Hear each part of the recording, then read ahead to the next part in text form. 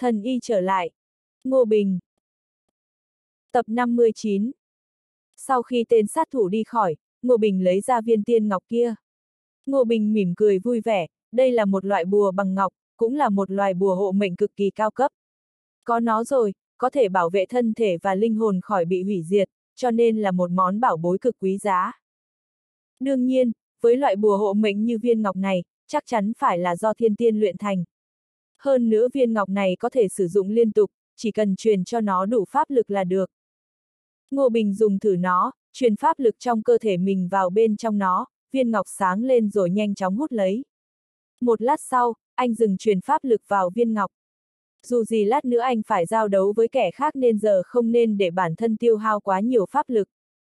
Nửa tiếng sau có tiếng người gõ cửa, một long vệ ra mở cửa. Cửa mở ra, bên ngoài là một ông già đầu hói đang đứng.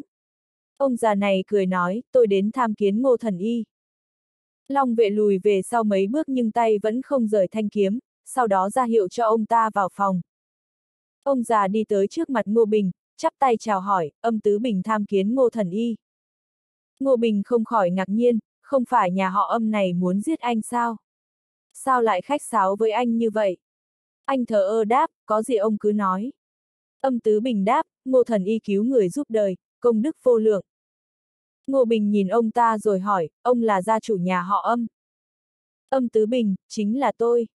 Ngô Bình, ông không cần quanh co nữa, ông tới là vì muốn giết tôi phải không? Âm tứ bình vội vã xua tay, tôi không dám. Tôi tới là muốn xin thần y cứu mạng. Ngô Bình ngạc nhiên, theo anh quan sát, âm tứ bình này đã là địa tiên cảnh giới linh biến rồi, hơn nữa trên người không có vết thương. Thấy lạ nên anh lập tức hỏi, cứu ai? Âm tứ bình thở dài đáp, là con trai tôi, âm tiểu phong. Ngô Bình, sao ông biết tôi có thể chữa cho con trai ông? Âm tứ bình, ngô thần y chữa được chấn sơn quyền thì có lẽ cũng sẽ chữa được cho con trai tôi. Ngô Bình cười lạnh, nhà họ âm các người ngang ngược bá đạo lắm. Vì tôi chữa cho vợ thôi Quảng Hải mà đã cử sát thủ tới định giết tôi. Âm Tứ Bình cúi gập người, chắp tay đáp, thực lòng xin lỗi, do nhà họ âm và nhà họ thôi có huyết hải thâm thù. Ngô Bình, tôi nghe thôi Quảng Hải nói năm xưa ông nội anh ta cứu người mà họ âm các ông truy sát, thế là nhà ông ám sát người nhà họ thôi từ đó. Đến nay chẳng còn lại mấy người. Âm Tứ Bình đáp, đó là do thôi Quảng Hải không rõ nội tình bên trong. Ngô Bình hỏi, nội tình gì? Âm Tứ Bình, nhà họ thôi trước đó vì muốn cướp lấy lệnh bài thiên quân của nhà tôi mà đã giết tổng cộng 305 người nhà họ âm. Tôi và bố tôi may mắn sống sót rồi ẩn cư trốn thôn dã.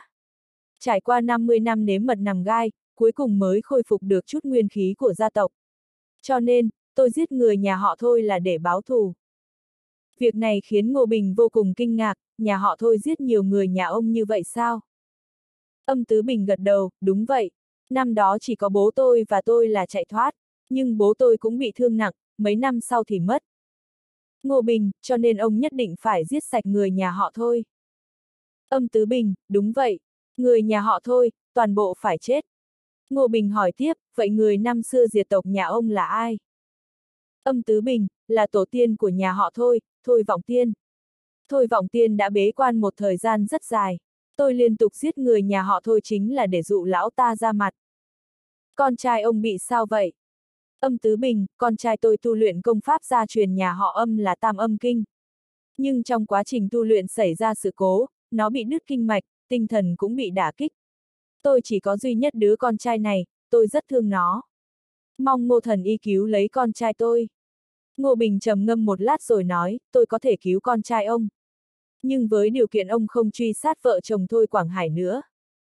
Âm Tứ Bình suy nghĩ một lát rồi đáp được, tôi muốn giết Thôi Vọng Tiên, còn Thôi Quảng Hải này có giết hay không cũng không sao cả. Ngô Bình, ông nói Thôi Vọng Tiên đã cướp mất lệnh bài thiên quân. Đó là thứ gì vậy? Âm Tứ Bình, vào thời tiên quốc có một vị mã thiên quân uy chấn thiên hạ. Nhưng rồi ông ấy mất tích trong một trận chiến lớn, có người nhặt được tấm lệnh bài của ông ấy. Nghe nói, có lệnh bài này là có thể tìm được tiên phủ của Mã Thiên Quân. Ngô Bình bắt đầu hứng thú, tiên phủ của Thiên Quân sao? Nhà họ âm các ông chưa tìm thử sao? Âm Tứ Bình cười khổ, đâu có dễ như vậy, mặc dù chúng tôi có lệnh bài Thiên Quân nhưng vẫn không thể tìm ra tiên phủ của ông ấy. Cho nên thực ra tấm lệnh bài đó cũng không có giá trị. Ngô Bình, Thôi Vọng Tiên cướp tấm lệnh bài đó, lẽ nào ông ta biết vị trí của tiên phủ? Âm Tứ Bình, đây cũng là việc tôi rất muốn điều tra nhưng đến giờ vẫn chưa có manh mối.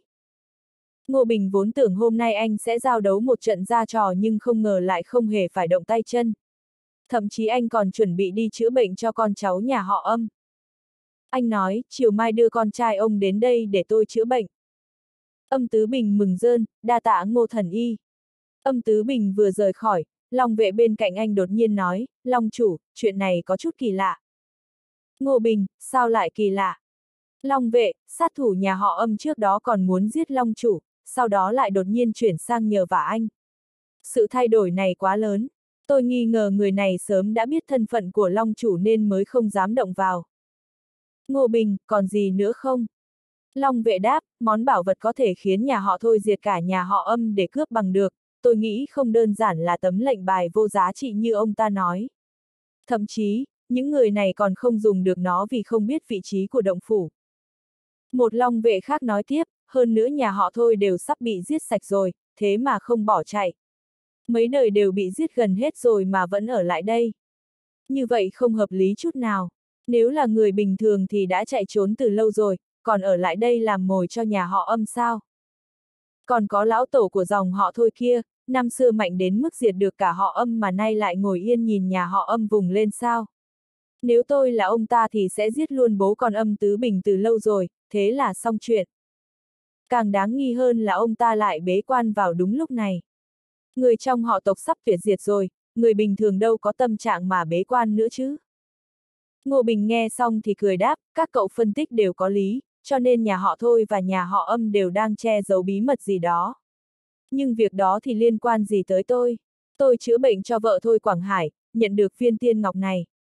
Đợi chữa bệnh cho con trai âm tứ bình xong thì cũng sẽ được lợi ích gì đó. Còn về ân oán thực sự giữa bọn họ và những bí mật họ đang che giấu thì tôi không quan tâm. Lời Ngô Bình nói khiến các long vệ sững lại. Giờ họ đã hiểu, long chủ vốn đã biết những điều này, chỉ là anh không nói ra mà thôi. Ngô Bình bình thản nói tiếp, hơn nữa, có lẽ cả Thôi Quảng Hải và âm Tứ Bình đều biết câu chuyện của họ không che mắt được tôi. Có điều, việc đó không quan trọng, tôi cũng không có hứng thú đi tìm hiểu. Audio điện tử võ tấn bền Mấy long vệ thi nhau gật đầu, cảm thấy cách nghĩ của Ngô Bình rất khôn khéo. Ngô Bình vươn người giãn gân cốt rồi nói, chúng ta về thôi. Ngô Bình quay về nhà họ Lý, ăn vài món điểm tâm rồi đi ra vườn luyện công. Luyện được một lát, khoảng 9 giờ tối anh nhận được cuộc gọi. Từ trong điện thoại vọng ra giọng nói vô cùng lo lắng của Hàn Thu, hiện tôi đã đến Vân Đông, vừa xuống máy bay. Tôi đã lấy được huyết dịch của Thái Cổ Thần Vương. Ngô Bình tim đập nhanh hơn, huyết dịch của Thái Cổ Thần Vương. Hàn Thu, Ngô Thần Y, tôi cảm giác có người đang theo dõi mình.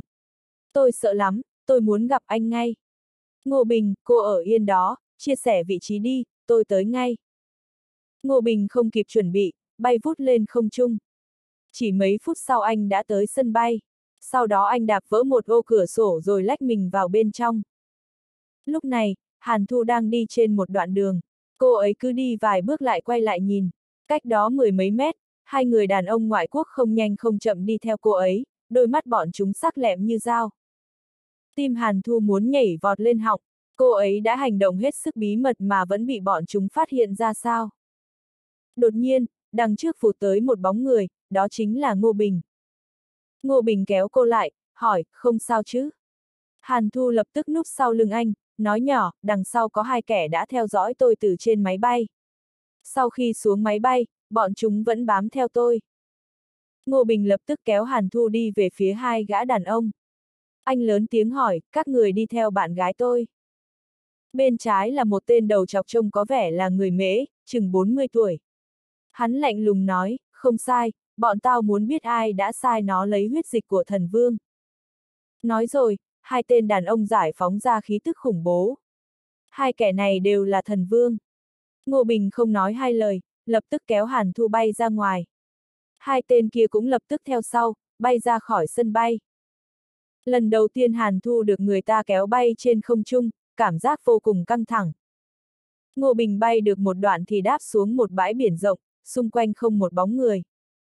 Hai cao thủ Âu Mỹ cũng đáp đất, người đàn ông chọc đầu cười lạnh lùng, bọn ta là thần, người chạy không thoát đâu.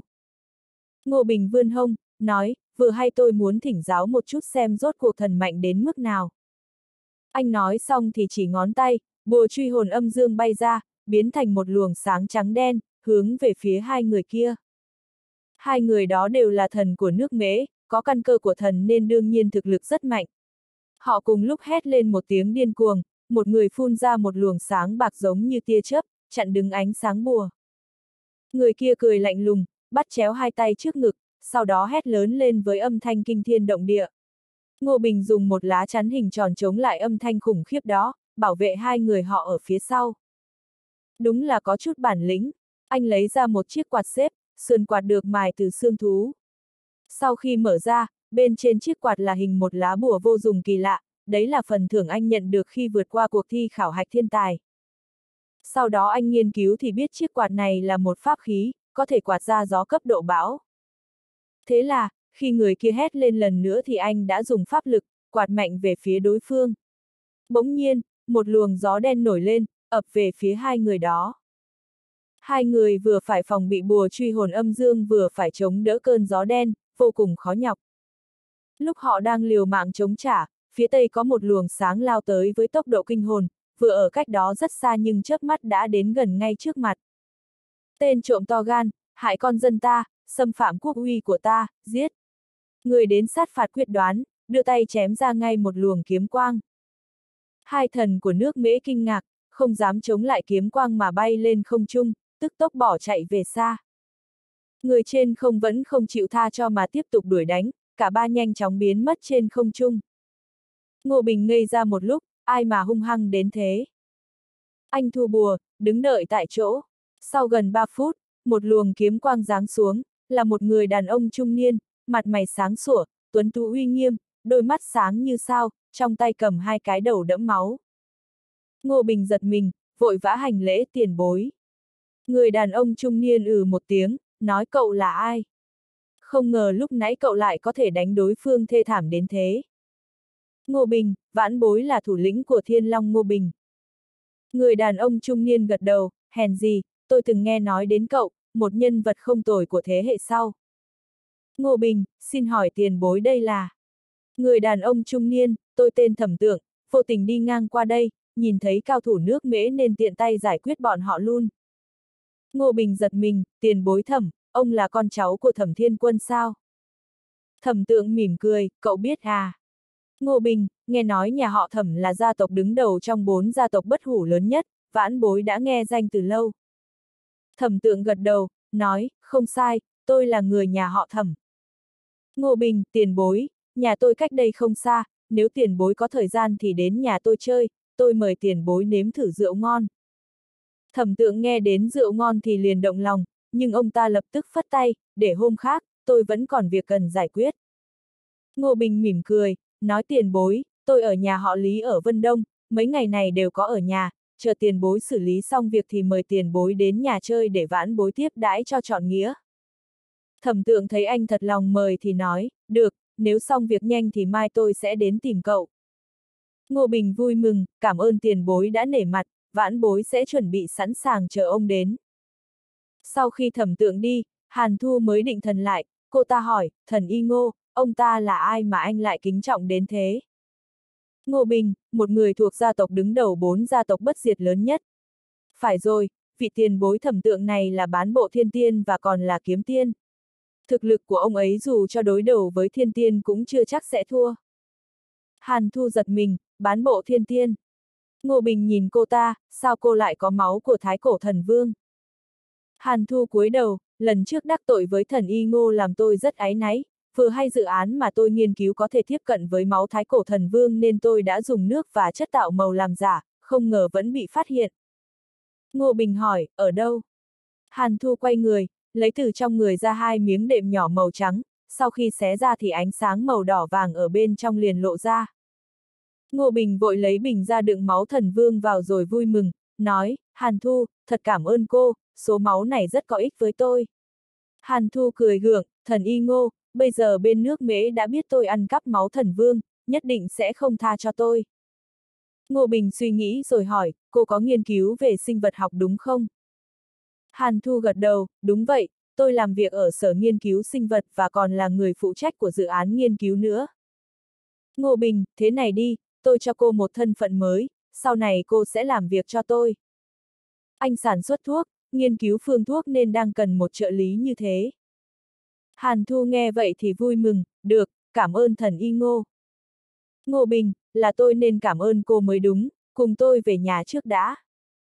Anh đưa Hàn Thu về đến nhà họ Lý thì thu xếp cho cô ta ăn uống trước, sau đó tặng cô ta mấy viên sinh mệnh đan, cô ta uống xong thì về nghỉ ngơi. Ngô Bình thì lập tức rút ra những thứ có ích từ trong máu cổ thần vương. Anh bận rộn cả buổi tối, cuối cùng cũng chiết tách ra được thứ có ích nhất là gen thần vương, một loại tia chớp màu vàng và một loại khói khí màu đỏ.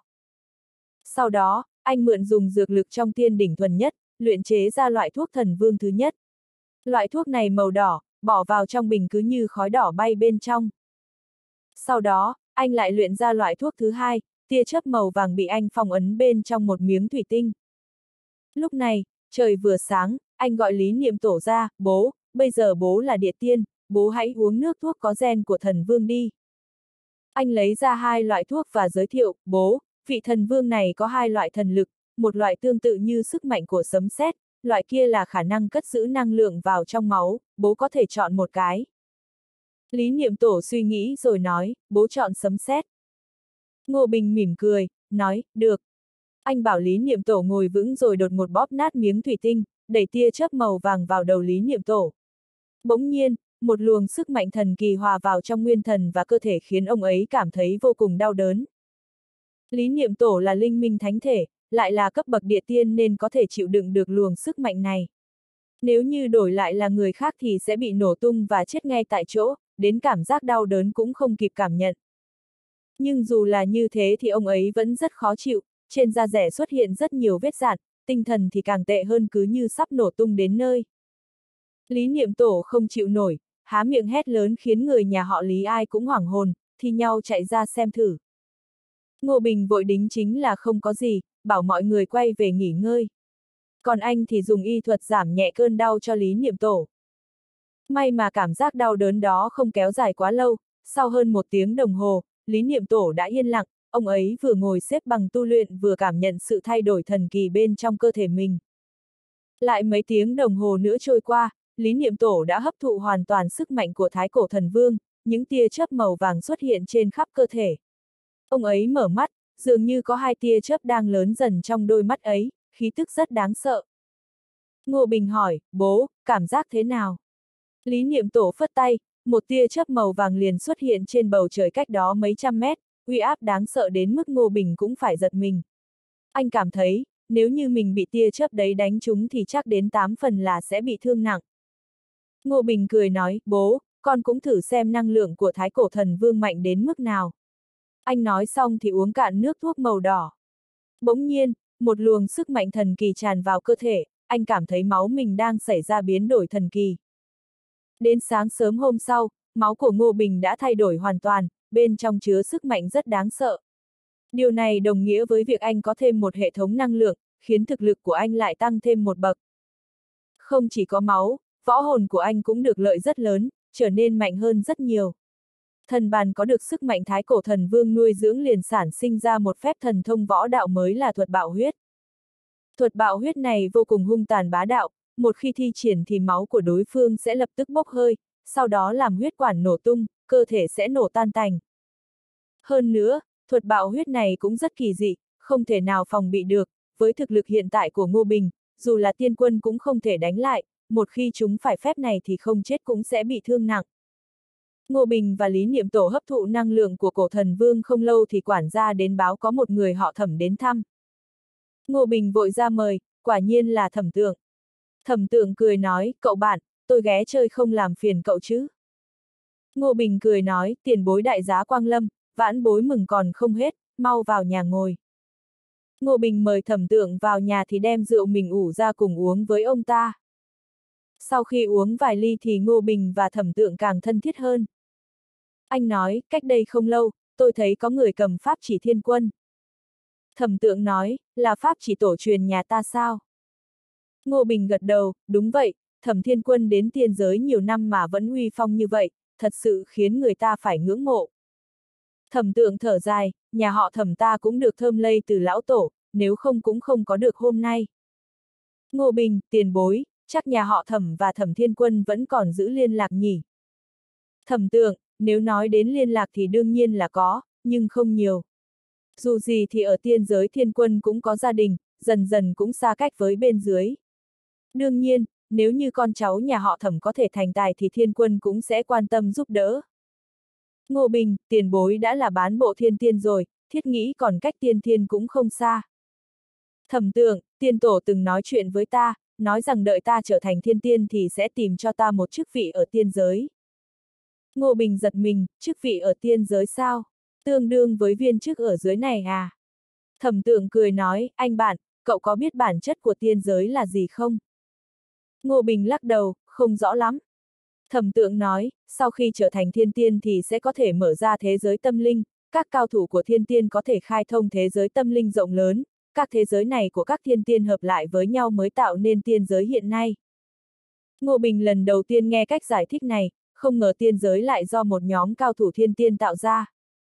Thẩm tượng thấy anh ngạc nhiên thì cười nói, vậy nên tiên giới chia thành rất nhiều khu vực, ở khu vực của thiên tiên nào thì thiên tiên đó có quyền, giống như những địa chủ. Ngô Bình suy nghĩ, nói tiền bối, nếu có một số thiên tiên mở ra thế giới riêng thì sao? Thẩm tượng, chuyện đó không phải chưa từng xảy ra, bên ngoài tiên giới còn có rất nhiều nơi tương tự như tiên giới, thường được gọi là thiên cảnh, thiên tiên thống trị ở đó gọi là thiên chủ. Thẩm tượng nói chuyện phía một lúc thì ngà ngà say, mỉm cười, hỏi, anh bạn, cậu có biết tôi đã đi xử lý chuyện gì không? Ngô Bình vội hỏi, mời tiền bối nói. Thẩm tượng, một cao thủ của tiên giới bị mấy thiên chủ lớn bắt tay đánh trọng thương. Người đó lẻn vào hạ giới ẩn nấp, lúc nãy ta đi tìm tung tích của người đó. Ngô Bình giật mình, vậy có phát hiện gì không? Thẩm tượng lắc đầu, người này ẩn nấp rất giỏi, muốn tìm được người thì vô cùng khó khăn. Ngô Bình hứng thú tiền bối, đó là người thế nào mà lại có thể khiến cho mấy thiên chủ lớn bắt tay đối phó thế? Thẩm tượng, người này muốn tự mình lập nên một thế giới riêng, đương nhiên các thiên chủ không vui nên mới bắt tay đuổi giết. Ngô Bình như hiểu ra gì đó, nói vậy thì mấy thiên chủ đang lo lắng người đó sẽ cướp mất vị trí của họ đúng không? Thẩm tượng cười nói, cậu hiểu như vậy cũng không sai, tiên giới nối liền với những tiên cảnh này, họ đều hy vọng trở thành thiên tiên mới, có thể liên kết thế giới tâm linh và thế giới của họ lại làm một, từ đó mở rộng địa bàn. Sức ảnh hưởng của người đó rất lớn, sau khi anh ta mở ra thế giới lớn thì đã cướp đi rất nhiều thiên tiên từ các thiên cảnh lớn, nên hai bên mới xảy ra xung đột. Ngô Bình hỏi, tiền bối, nếu sau này tôi trở thành thiên tiên, vậy thì nhất định phải gia nhập tiên giới hoặc thiên cảnh do các thiên tiên này lập ra sao? Thẩm tượng, đương nhiên là không, cậu có thể lựa chọn lập nên thế giới tâm linh của riêng mình, không bị người khác làm phiền, cũng có thể gia nhập vào các thế lực của tiên giới. Có điều phần lớn các thiên tiên lựa chọn cách thứ hai vì gia nhập tiên giới đồng nghĩa với việc có được sự bảo hộ, rủi ro sẽ rất thấp. Nếu tự lập ra thế giới tâm linh của mình, tự cai quản thì có thể sẽ bị những thiên tiên khác nuốt chửng, luyện hóa. Ngô Bình giật mình, bị nuốt chửng sao? Thẩm tượng gật đầu, đúng thế, có một số người không gia nhập vào tiên giới cũng không gia nhập các thế lực của thiên tiên các mà tự có thế giới tâm linh riêng của mình, vì muốn mở rộng thế giới của mình, họ sẽ nuốt chửng thế giới của những thiên tiên khác. Ông ta dừng lại một chút rồi nói tiếp, cũng có vài thiên tiên gia nhập thẳng tiên giới cổ, ở đó cũng có số lượng thiên tiên tương đương nhưng tiên giới cổ rất nguy hiểm, và cũng phải đề phòng bị thiên tiên khác nuốt chửng.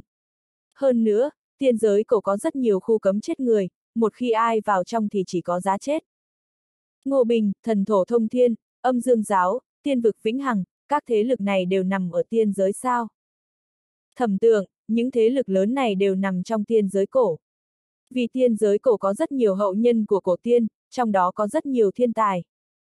Anh nói, tiên giới cổ là một phần của hồng hoang, hồng hoang là một thế giới vô cùng rộng lớn, có rất nhiều người và bộ lạc dã man sinh sống. Ngô Bình ngây ra, hồng hoang. Thẩm tượng gật đầu, tiên giới và tiên giới cổ đều nằm trên đất của hồng hoang. Nghe nói đại lục hồng hoang là mảnh đất được hình thành từ thời hỗn độn sơ khai, bên trong có rất nhiều báu vật cũng như dã thú, yêu ma. Đương nhiên, cùng có một số vương triều vĩ đại và bộ lạc hùng mạnh tồn tại. Một bức tranh hùng vĩ liền xuất hiện trong đầu Ngô Bình, anh than, xem ra thế giới này phức tạp hơn tưởng tượng của tôi nhiều. Thẩm tượng nói, ta có thể nhìn ra cậu đã là thần quân rồi. Tư chất của cậu rất xuất sắc, sau này nếu vào hồng hoang thì sẽ thích nghi với môi trường ở đó nhanh hơn người khác rất nhiều. Ngô Bình, xin tiền bối chỉ bảo thêm. Thẩm tượng, tụ tiên bắt nguồn từ đại lục hồng hoang, tổ tiên của tất cả chúng ta thuở đầu đều sinh ở đó. Ở đại lục hồng hoang, có rất nhiều dị tộc mạnh, hung thú, yêu ma hùng mãnh, chỉ có khí lực mạnh mẽ của loài người mới có thể chống lại được. Tiên thuở đầu thể chất đều rất mạnh, từ nhỏ đã có thể chém giết với hung thú rồi. Ngô Bình khẽ suy nghĩ trong lòng, lại nghĩ đến nhân tiên cực cảnh, với cả địa tiên đoạt thiên cảnh, bèn hỏi, tiền bối, các tiền bối ở thời kỳ nhân tiên, có phải đều đạt đến cực cảnh không? Thẩm tượng gật đầu, tiên lúc đầu, thể chất e rằng còn mạnh hơn cả cực cảnh nữa. Còn về rốt cuộc cảnh giới kia là gì, thì ta cũng không rõ. Ngô Bình hoảng sợ, trên cực cảnh còn có cảnh giới khác nữa. Cảnh giới nhân tiên thứ bảy. Thẩm tượng cười ha ha, tiểu hữu cậu cũng rất lợi hại rồi, ít nhất ta chưa từng thấy nhân tiên nào mạnh hơn cậu cả. Ngô Bình, tiền bối quá khen rồi. Thẩm tượng nói, đúng rồi, vị cao thủ bị mấy vị đại thiên chủ đánh trọng thương kia có lẽ đã có được truyền thừa của tổ tiên rồi. Tổ tiên, Ngô Bình nói, là tổ tiên của loài người thu tiên thu ở đầu sao. Thẩm tượng gật đầu, đúng vậy, người này rất mạnh, anh ta trở thành thiên tiên không quá 100 năm, mà đã chấn áp mấy vị đại thiên chủ. Các thiên chủ liên hợp giết anh ta, chỉ sợ cũng là muốn lấy truyền thừa kia. Ngô Bình âm thầm ghi nhớ, hỏi, vị cao thủ này tại sao lại trốn đến nhân gian? Không phải nhân gian không thể chịu đựng được thiên tiên sao? Thẩm tượng, anh ta bị đánh trọng thương, thân xác hủy diệt, linh đài sụp đổ, chỉ có một ít nguyên linh trốn thoát được. Ha ha, chỉ sợ rất khó mà trở lại được. Hai người đang uống rượu, thẩm tượng bỗng nhíu mày, nói, có tin tức rồi, bọn họ đã phát hiện hành tung của anh ta, tiểu hữu chúng ta có duyên gặp lại. Nói xong, thẩm tượng lập tức biến mất, át hẳn là đi truy sát vị cao thủ tiên giới kia. Anh tự mình uống rượu, trong lòng không được bình tĩnh, không ngờ thượng giới còn tồn tại đại lục hồng hoang, tiên giới được sinh ra ở đó. Bỗng nhiên, Đông Hoàng đi qua với vẻ mặt nghiêm túc, ngồi trước mặt Ngô Bình như một người bình thường vậy. Ngô Bình khẽ cười, Đông Hoàng, mày cũng muốn uống mấy ly sao? Nói rồi, anh rót một ly rượu cho Đông Hoàng. Đông Hoàng nhìn ly rượu, lắc đầu, vậy mà lại tiếng, nhiều năm trước, tôi đã bí mật bày bố, không ngờ lại có ngày có tác dụng. Ngô Bình lập tức đứng dậy, nhìn Đông Hoàng chằm chằm, lạnh lùng hỏi, ngươi là ai? Đông Hoàng lạnh nhạt nói, vừa nãy chẳng phải các người vẫn nói về bổn thiên chủ sao? Ngô Bình nheo mắt, ngươi chính là cao thủ bị mấy vị đại thiên chủ kia đánh trọng thương. Đông Hoàng, chỗ cậu có vật gì cho tôi nương thân không? Lưỡi chó không tiện chút nào, nói chuyện cũng không rõ. Ngô Bình ngẫm nghĩ, bèn đưa Đông Hoàng đến kho hàng, nơi này có một tảng đá hình người, bên trong mang hơi thở sinh mệnh. Lúc trước, khi thực lực anh còn yếu thì không dám mở nó ra, bây giờ thì hoàn toàn không phải lo lắng.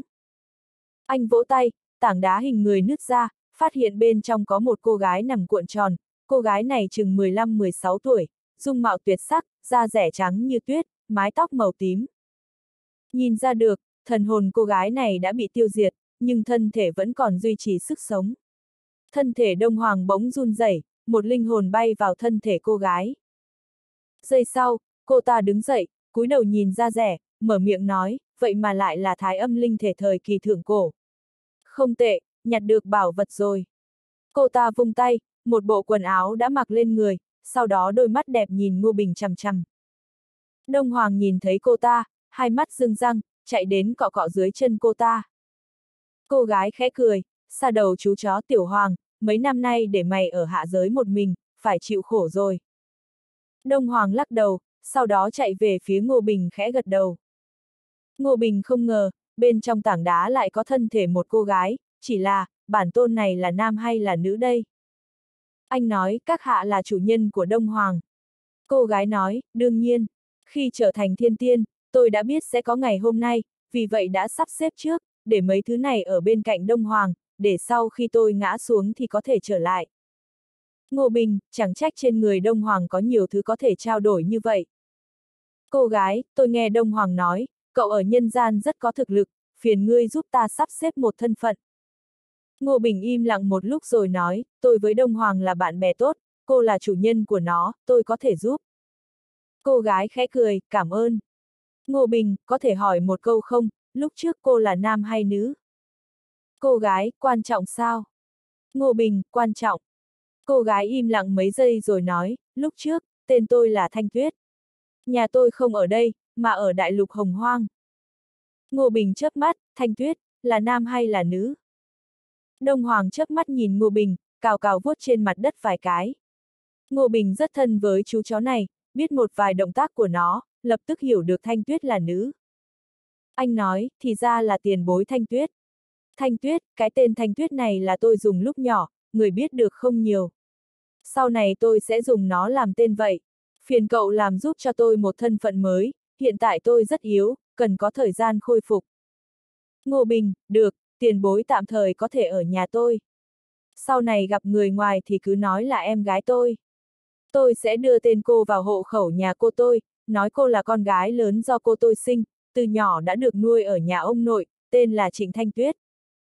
Thanh Tuyết, được. Ngô Bình lấy ra một bình sinh mệnh đan, nói, hy vọng nó sẽ giúp ích cho cô. Thanh Tuyết nhìn đan dược, cười nói, tuy không giúp được nhiều cho tôi, nhưng vẫn cảm ơn cậu. Tôi muốn nghỉ ngơi chút, làm phiền sắp xếp giúp tôi một khu nghỉ ngơi riêng. Ngô Bình dẫn Thanh Tuyết đến một viện nhỏ yên tĩnh, để cô ấy và Đông Hoàng ở bên trong. Sau đó anh đến thăm Lý Niệm Tổ, ông ấy đã hấp thụ hoàn toàn sức mạnh của cổ thần vương, hơi thở trở nên rất khủng khiếp. Ngô Bình để ông ấy tiếp tục tiến lên địa tiên tam cảnh và tử cảnh. Buổi trưa, Hàn Thu đi ra cùng người nhà họ Lý dùng bữa, Ngô Bình giới thiệu đơn giản, nói, Hàn Thu, cô là chuyên gia về khoa học sinh mạng, tôi sẽ đầu tư một khoản tiền, thành lập một đơn vị nghiên cứu tư nhân, sau này đơn vị sẽ do cô chịu trách nhiệm. Ánh mắt Hàn Thu sáng rực, thần y ngô, tôi có thể sao?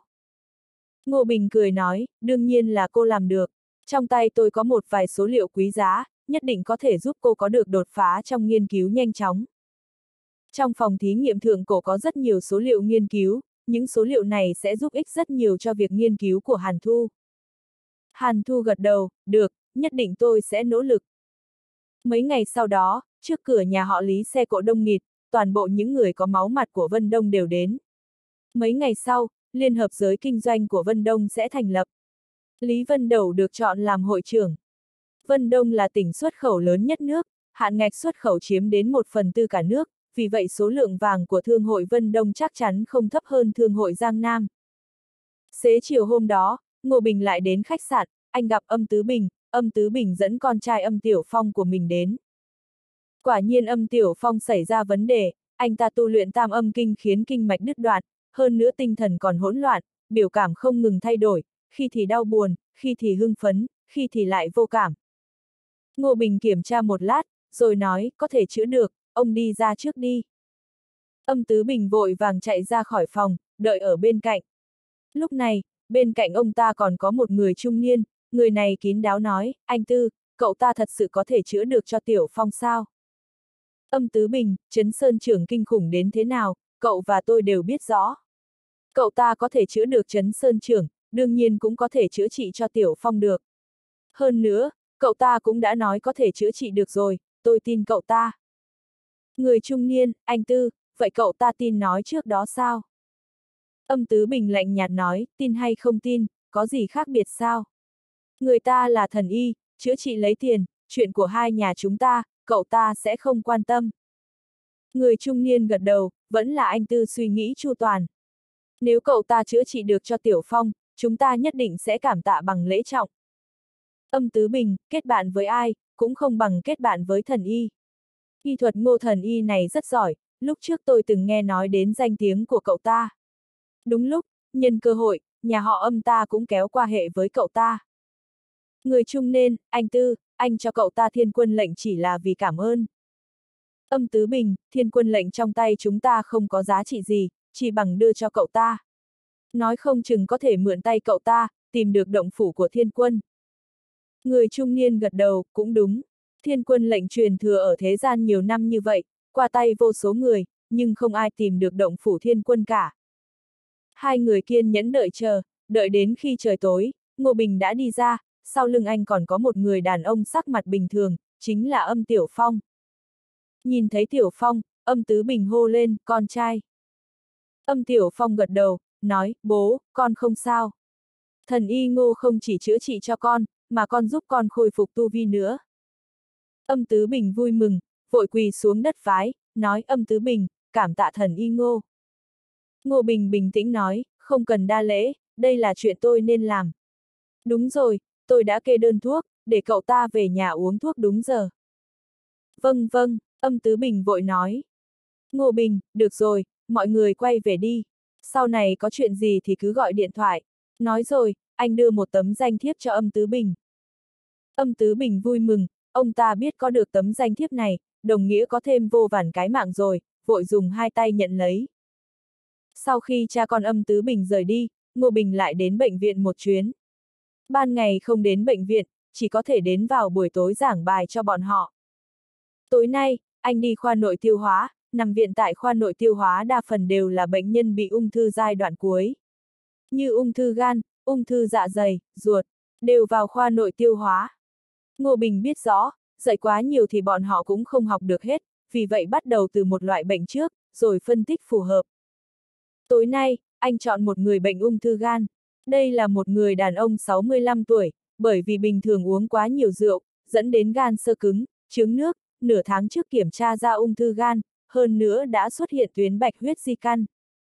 Bệnh nhân như vậy tạm thời chỉ có thể áp dụng hóa trị để làm chậm bệnh tình, quá trình hóa trị rất đau đớn, lại còn tốn kém rất nhiều tiền của. Có lúc trị liệu một ngày đã tốn hơn 10.000 tệ rồi, cho dù bảo hiểm y tế đã thanh toán một phần, nhưng gánh nặng đối với người bệnh cũng rất lớn. Ông ấy có một trai một gái, con trai vừa mới kết hôn nửa năm, sinh một cháu trai. Con gái vừa mới ly hôn, dẫn theo một đứa cháu gái sống một mình. Ông ấy là người làm thuê bình thường, tiền lương hưu không nhiều, cũng không muốn tốn tiền để khám bệnh, vì vậy không muốn phối hợp điều trị. Cũng may con cái ông ấy lại hiếu thuận, mỗi ngày đều ở bệnh viện chăm sóc, còn nói đồng ý bán nhà để trị bệnh cho bố. Biết đơn giản về bệnh tình của ông lão, Ngô Bình mở cửa phòng bệnh, ông lão đang nằm nghiêng, con trai thì ngồi bên cạnh. Thấy bác sĩ đến, con trai ông lão đứng dậy, khẽ gật đầu, bác sĩ. Bác sĩ phụ trách bệnh nhân giới thiệu nói, đây là bác sĩ Ngô. Con trai ông lão thấy rõ vẻ ngoài Ngô Bình, lập tức vui mừng, đột nhiên cậu ta quỳ xuống đất, nước mắt rơi như mưa, tôi biết anh, anh là thần y Ngô. Thần y Ngô, tôi cầu xin anh cứu bố tôi với. Bố tôi đã khổ cả đời vì chúng tôi rồi, tôi rất muốn ông ấy sống thêm vài năm nữa. Đàn ông con trai không dễ khóc, nhưng đàn ông bật khóc thì rất dễ khiến người ta động lòng. Ngô Bình dìu cậu ta dậy, vỗ vai cậu ta, nói, anh yên tâm, lương y như từ mẫu, chúng tôi nhất định sẽ chữa trị. Con trai ông lão vui mừng, vội dìu ông lão, nói, bố, bố được cứu rồi, vị này là thần y ngô, anh ấy đã chữa trị cho rất nhiều bệnh nhân ung thư. Ông lão lại không hề vui mừng, ông ấy hỏi, bác sĩ, nhà tôi không còn bao nhiêu tiền, trái tôi vẫn còn nhỏ nữa, nếu phải tốn quá nhiều tiền thì tôi không trị nữa. Con trai ông lão vội nói, bố, bố nói gì vậy, không phải còn có bảo hiểm y tế hay sao, nhà chúng ta nhiều lắm chỉ chịu một phần thuốc thôi, tốn không bao nhiêu cả. Ông lão nóng này, sao lại tốn không bao nhiêu, mới có nửa tháng, mà đã tốn hết 500.000 rồi, không chữa được thì bố không trị nữa, bố muốn về nhà. Ông ấy dẫy dụa muốn đứng dậy, Ngô Bình vội nói, ông à, phương pháp trị liệu mới của chúng tôi không tốn nhiều tiền, một ngày nhiều lắm là 1.000 tệ. Hoàn lại 90%, bản thân ông chỉ bỏ ra 100 tệ, không nhiều chứ. Ông lão lập tức bình tĩnh lại, một ngày 1.000 tệ. Ngô Bình, 1.000 là mức tối đa rồi, chỉ ít hơn thôi.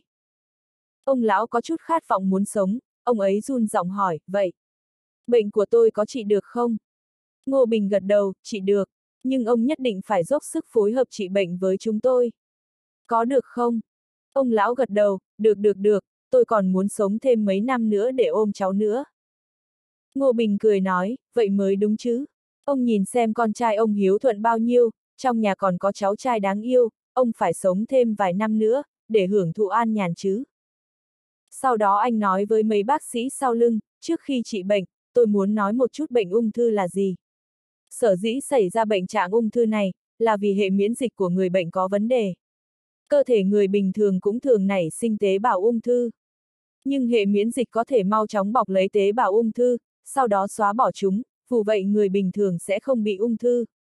Mà ông lão quanh năm uống nhiều rượu, tế bào gan hoại tử theo từng ngày, rồi nó tái sinh xong lại hoại tử, sau đó tái sinh tiếp. Về lâu về dài, cơ chế miễn dịch mất hiệu lực, vì vậy không tránh được ung thư. Một bác sĩ phó chủ nhiệm hỏi, bác sĩ Ngô, những thứ này chúng tôi đều biết rõ. Theo anh thấy, bệnh tình thế này thì chỉ thế nào? Ngô Bình, kích hoạt lại hệ thống miễn dịch của người bệnh, để thân thể tự động giết chết tế bào ung thư. Nói xong, anh viết đơn thuốc rồi đưa cho bác sĩ phụ trách, nói, phương thuốc này, uống 3 ngày trước. Sau 3 ngày mọi người lại kiểm tra lại số lượng tế bào ung thư, nếu giảm xuống thì lại uống tiếp 7 ngày. Sau 7 ngày tiếp tục kiểm tra, nếu tế bào ung thư đã biến mất, vậy tiếp tục uống nửa tháng.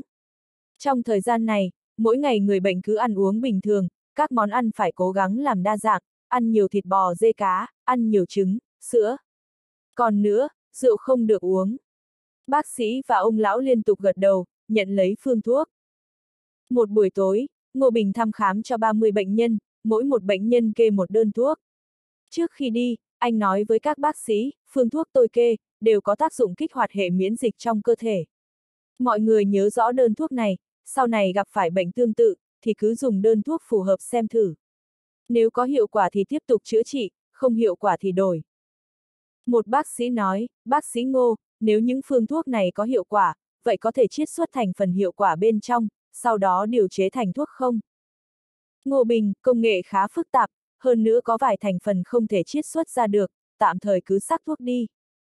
Mấy ngày liên tục anh đều làm việc tại bệnh viện, người bệnh uống thuốc ngày đầu, đến ngày thứ hai thì các chỉ số đã hạ xuống thấy rõ. Mấy bác sĩ đều vui mừng không thôi, tiếp tục dùng phương thuốc Ngô Bình kê cho bệnh nhân. Vào ngày thứ tư Thanh Tuyết đến nhà họ Lý, Đông Hoàng cắn túm ống tay áo Ngô Bình, kéo anh đến trước mặt Thanh Tuyết. Hơi thở của Thanh Tuyết so với lúc trước đã ổn định hơn nhiều rồi, trông dáng vẻ thì cô ta đã hoàn toàn thích nghi với thân thể mới rồi. Ngô Bình, tìm tôi có việc sao? Thanh Tuyết, thân phận của tôi, cậu đã sắp xếp rồi sao? Ngô Bình, đã ổn thỏa rồi. Thanh Tuyết, cảm ơn cậu đã chịu giúp tôi, để báo đáp, tôi tặng cậu vật này. Ngô Bình nhận lấy một cái hộp, sau khi mở ra, bên trong có một miếng ngọc, cậu hỏi, đây là thứ gì? Bên trong có ghi chép phương pháp tu luyện 8 cảnh giới nhân tiên và 5 cảnh giới địa tiên hoàn chỉnh. Ngô Bình mở to mắt, nhân tiên có 8 cảnh giới. Địa tiên có 5 kỳ tu hành. Thanh tuyết, tu vi của cậu có lẽ là nhân tiên tầng 6, phía sau còn có tầng 7 và tầng 8, tôi miễn cưỡng thì đạt đến thất cảnh, có thể đến đết bát cảnh hay không, thì phải xem vận may của cậu rồi. Địa tiên có 5 cảnh giới, cậu chỉ biết 4 cảnh giới trước, cảnh giới thứ 5 gọi là thiên mệnh cảnh, có 3 cảnh giới nhỏ. Năm đó, tôi chỉ đột phá đến một cảnh giới nhỏ của thiên mệnh cảnh thôi. Hy vọng cậu có thể bù đắp được tiếc nuối của tôi. Ngô Bình nói, cảm ơn. Thanh Tuyết nói, không cần khách sáo, giúp đỡ lẫn nhau thôi. Đúng rồi, bên trong này, còn ghi chép kỷ lục cao nhất của từng cảnh giới trong lịch sử. Hơn nữa, phàm là người từng nhìn thấy bảo vật này, thì tu vi đều sẽ được ghi lại, trên đó, cũng được xếp hạng. Năm đó, tôi đã tiến vào 100 người đứng đầu, hy vọng cậu có thể vượt qua tôi. Mắt Ngô Bình sáng rực, còn có bảng xếp hạng sao? Thanh Tuyết, đây là pháp bảo, không cần thấy kỳ lạ. Đúng rồi, có chuyện này tôi phải nói với cậu, Anogura và Yozakura Tama, tư chất đều không tệ, tôi chuẩn bị nhận bọn họ làm đồ đệ, cậu không để ý chứ? Ngô Bình không sao cả, nói, có cô dạy cũng tốt, tôi đỡ phải lo lắng. Thời gian này, anh cũng không quan tâm được chuyện tu hành của hai cô ấy, hiện tại có Thanh Tuyết trông coi, cũng không phải là lựa chọn tệ. Chia tay Thanh Tuyết, anh nói với người ta một tiếng, đi đến địa tiên giới gặp Hồng Lăng và sư phụ. Quay về Thiếu Long Phong trước, thì thấy một thuồng luồng trắng bay đến, thân thiết vây quanh cậu. Anh tập trung nhìn nó, đây chẳng phải là bạch xà kia sao? Nó lại biến thành thuồng luồng rồi sao? Anh vỗ đầu thuồng luồng, nói, không tệ không tệ, quay về đưa mày rời khỏi chỗ này, tìm bạn cho mày. Thuồng luồng trắng rất vui, nó há miệng lớn, năm con thuồng luồng nhỏ từ trong miệng chui ra, đều là màu trắng bạc. Thì ra sau khi biến thành thuồng luồng, nó đã sinh ra năm quả trứng thuồng luồng, không bao lâu, đã phá vỏ thành năm con thuồng luồng. Mấy con thuồng luồng đều to chừng ngón tay cái, bọn nó rất thân thiết với Ngô Bình, bò sát trên người. Ngô Bình khẽ cười, lấy ra sinh mệnh đan đút cho những con thuồng luồng nhỏ này. Mấy đứa nhóc này rất thích ăn, cắn từng ngụm nuốt luôn. Ngô Bình đang trêu đùa với thuồng luồng, Trần Hạc Niên vội vã đến, sư thúc. Ngô Bình, Hạc Niên, tìm ta có chuyện gì? Trần Hạc Niên nói, sư thúc, hôm trước Vũ Văn Thiên đều xuất quan, kẻ nay vô cùng kiêu ngạo, cử người đến đề nghị liên hôn vô tương phong ta, muốn với kinh hồng sư muội. Ngô Bình, cậu ta muốn cưới kinh hồng tiên tử. Sư phụ đồng ý rồi sao? Trần Hạc Niên, đương nhiên tổ phụ không đồng ý, nhưng Vũ Văn Thiên không chịu nói lý, nói không chịu đồng ý thì hắn ta khiêu chiến với tổ phụ. Ngô Bình thì lại rất chấn tĩnh, hỏi kinh hồng sư muội thì sao?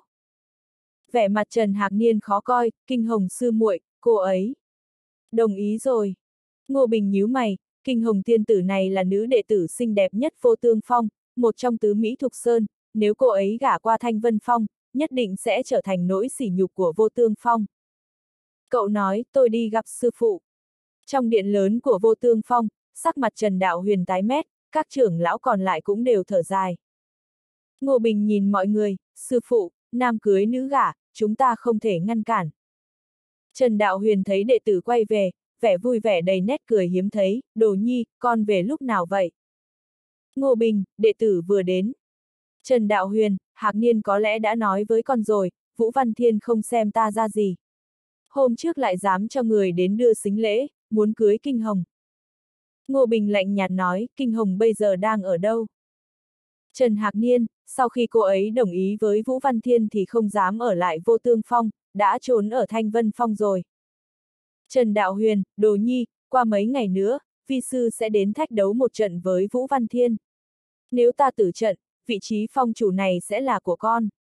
Ta muốn con bảo vệ vô tương phong.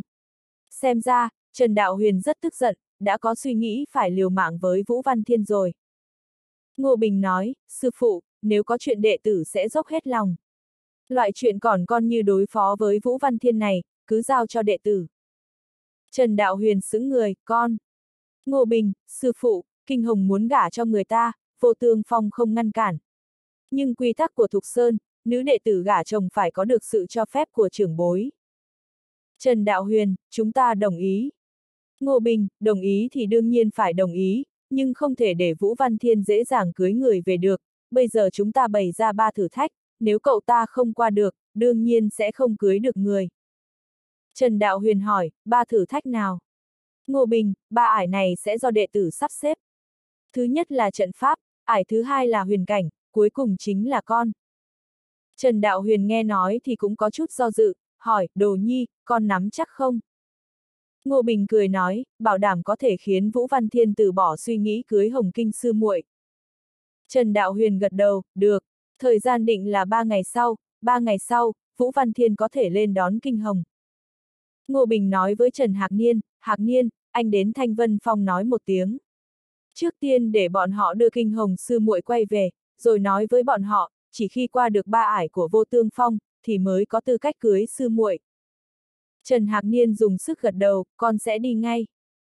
Trong các trưởng lão của vô tương phong, có người nói, phong chủ, làm như vậy có phải quá khinh địch rồi không? Vũ Thiên Văn kia là cao thủ tiên quân cảnh, thực lực kinh người, chỉ là trận pháp e rằng khó ngăn được hắn ta. Còn về Ngô Bình, sợ rằng Ngô Bình không phải đối thủ. Đến lúc đó, chúng ta chỉ có thể tăng tham vọng đối thủ mà hủy hoại danh dự bản thân, mất nhiều hơn được. Ngô Bình liếc nhìn người lên tiếng, nói, vị trưởng lão này xưng hô thế nào? Người lên tiếng là một người trung niên, ông ta lạnh nhạt nói, bổn trưởng lão, liễu truyền nghĩa. Ngô Bình, thì ra là trưởng lão liễu. Ngày đó có một đệ tử vô tương phong có mắt không chồng ám sát tôi, chắc hẳn là hậu nhân của ông nhỉ. Với tầm mắt hiện tại, vừa nhìn là anh đã có thể nhìn ra được hai người có phải là quan hệ huyết thống hay không, vì vậy trưởng lão liễu này vừa đứng ra thì anh đã biết đối phương tại sao lại nhảy ra rồi. Liễu truyền nghĩa xứng người, nói chuyện hôm đó, là lỗi của con tôi, tôi đã dạy dỗ nó rồi. Ngô Bình, chẳng lẽ trưởng lão liễu không oán giận tôi sao? Liễu truyền nghĩa cười nói, sao có thể chứ, cậu là đệ tử thân cận của phong chủ, trong lòng tôi cũng chỉ có tôn trọng mà thôi. Ngô Bình, vậy thì tốt, tôi còn tưởng lời vừa nãy của trưởng lão liễu, là cố ý nhắm vào tôi kìa.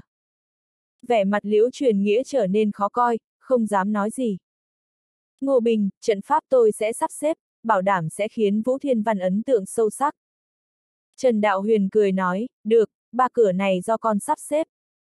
Sau khi thảo luận, Trần Đạo Huyền cho các trưởng lão lui xuống, nói, đồ nhi, các trưởng lão của vô tương phong đều có căn cơ rất sâu, cho dù con không có quan hệ tốt với bọn họ, thì cũng đừng đắc tội.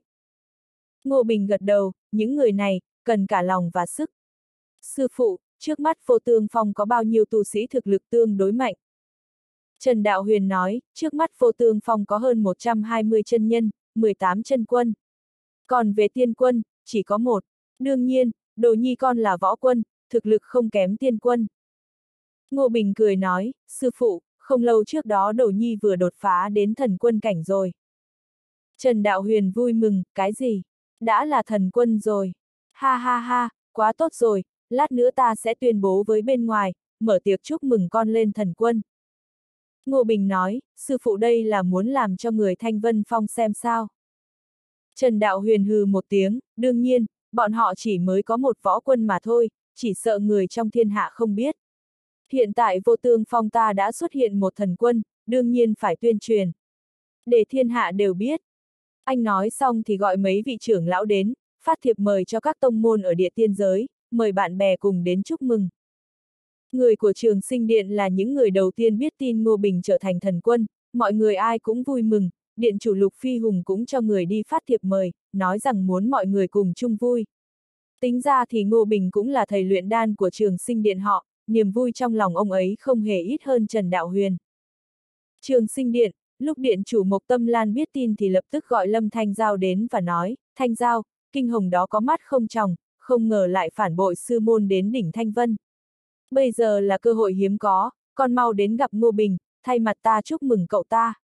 Ngoài ra, con hãy đưa thứ này cho cậu ta, xem như tín vật định tình của hai con. Lâm Thanh Giao giật mình, vội nói, sư phụ, đây chẳng phải là cực thiên tâm kính của sư tổ Thanh Liên để lại sao? Đây là bảo vật chấn điện của điện Thanh Liên chúng ta mà, sao có thể tùy tiện tặng người khác được?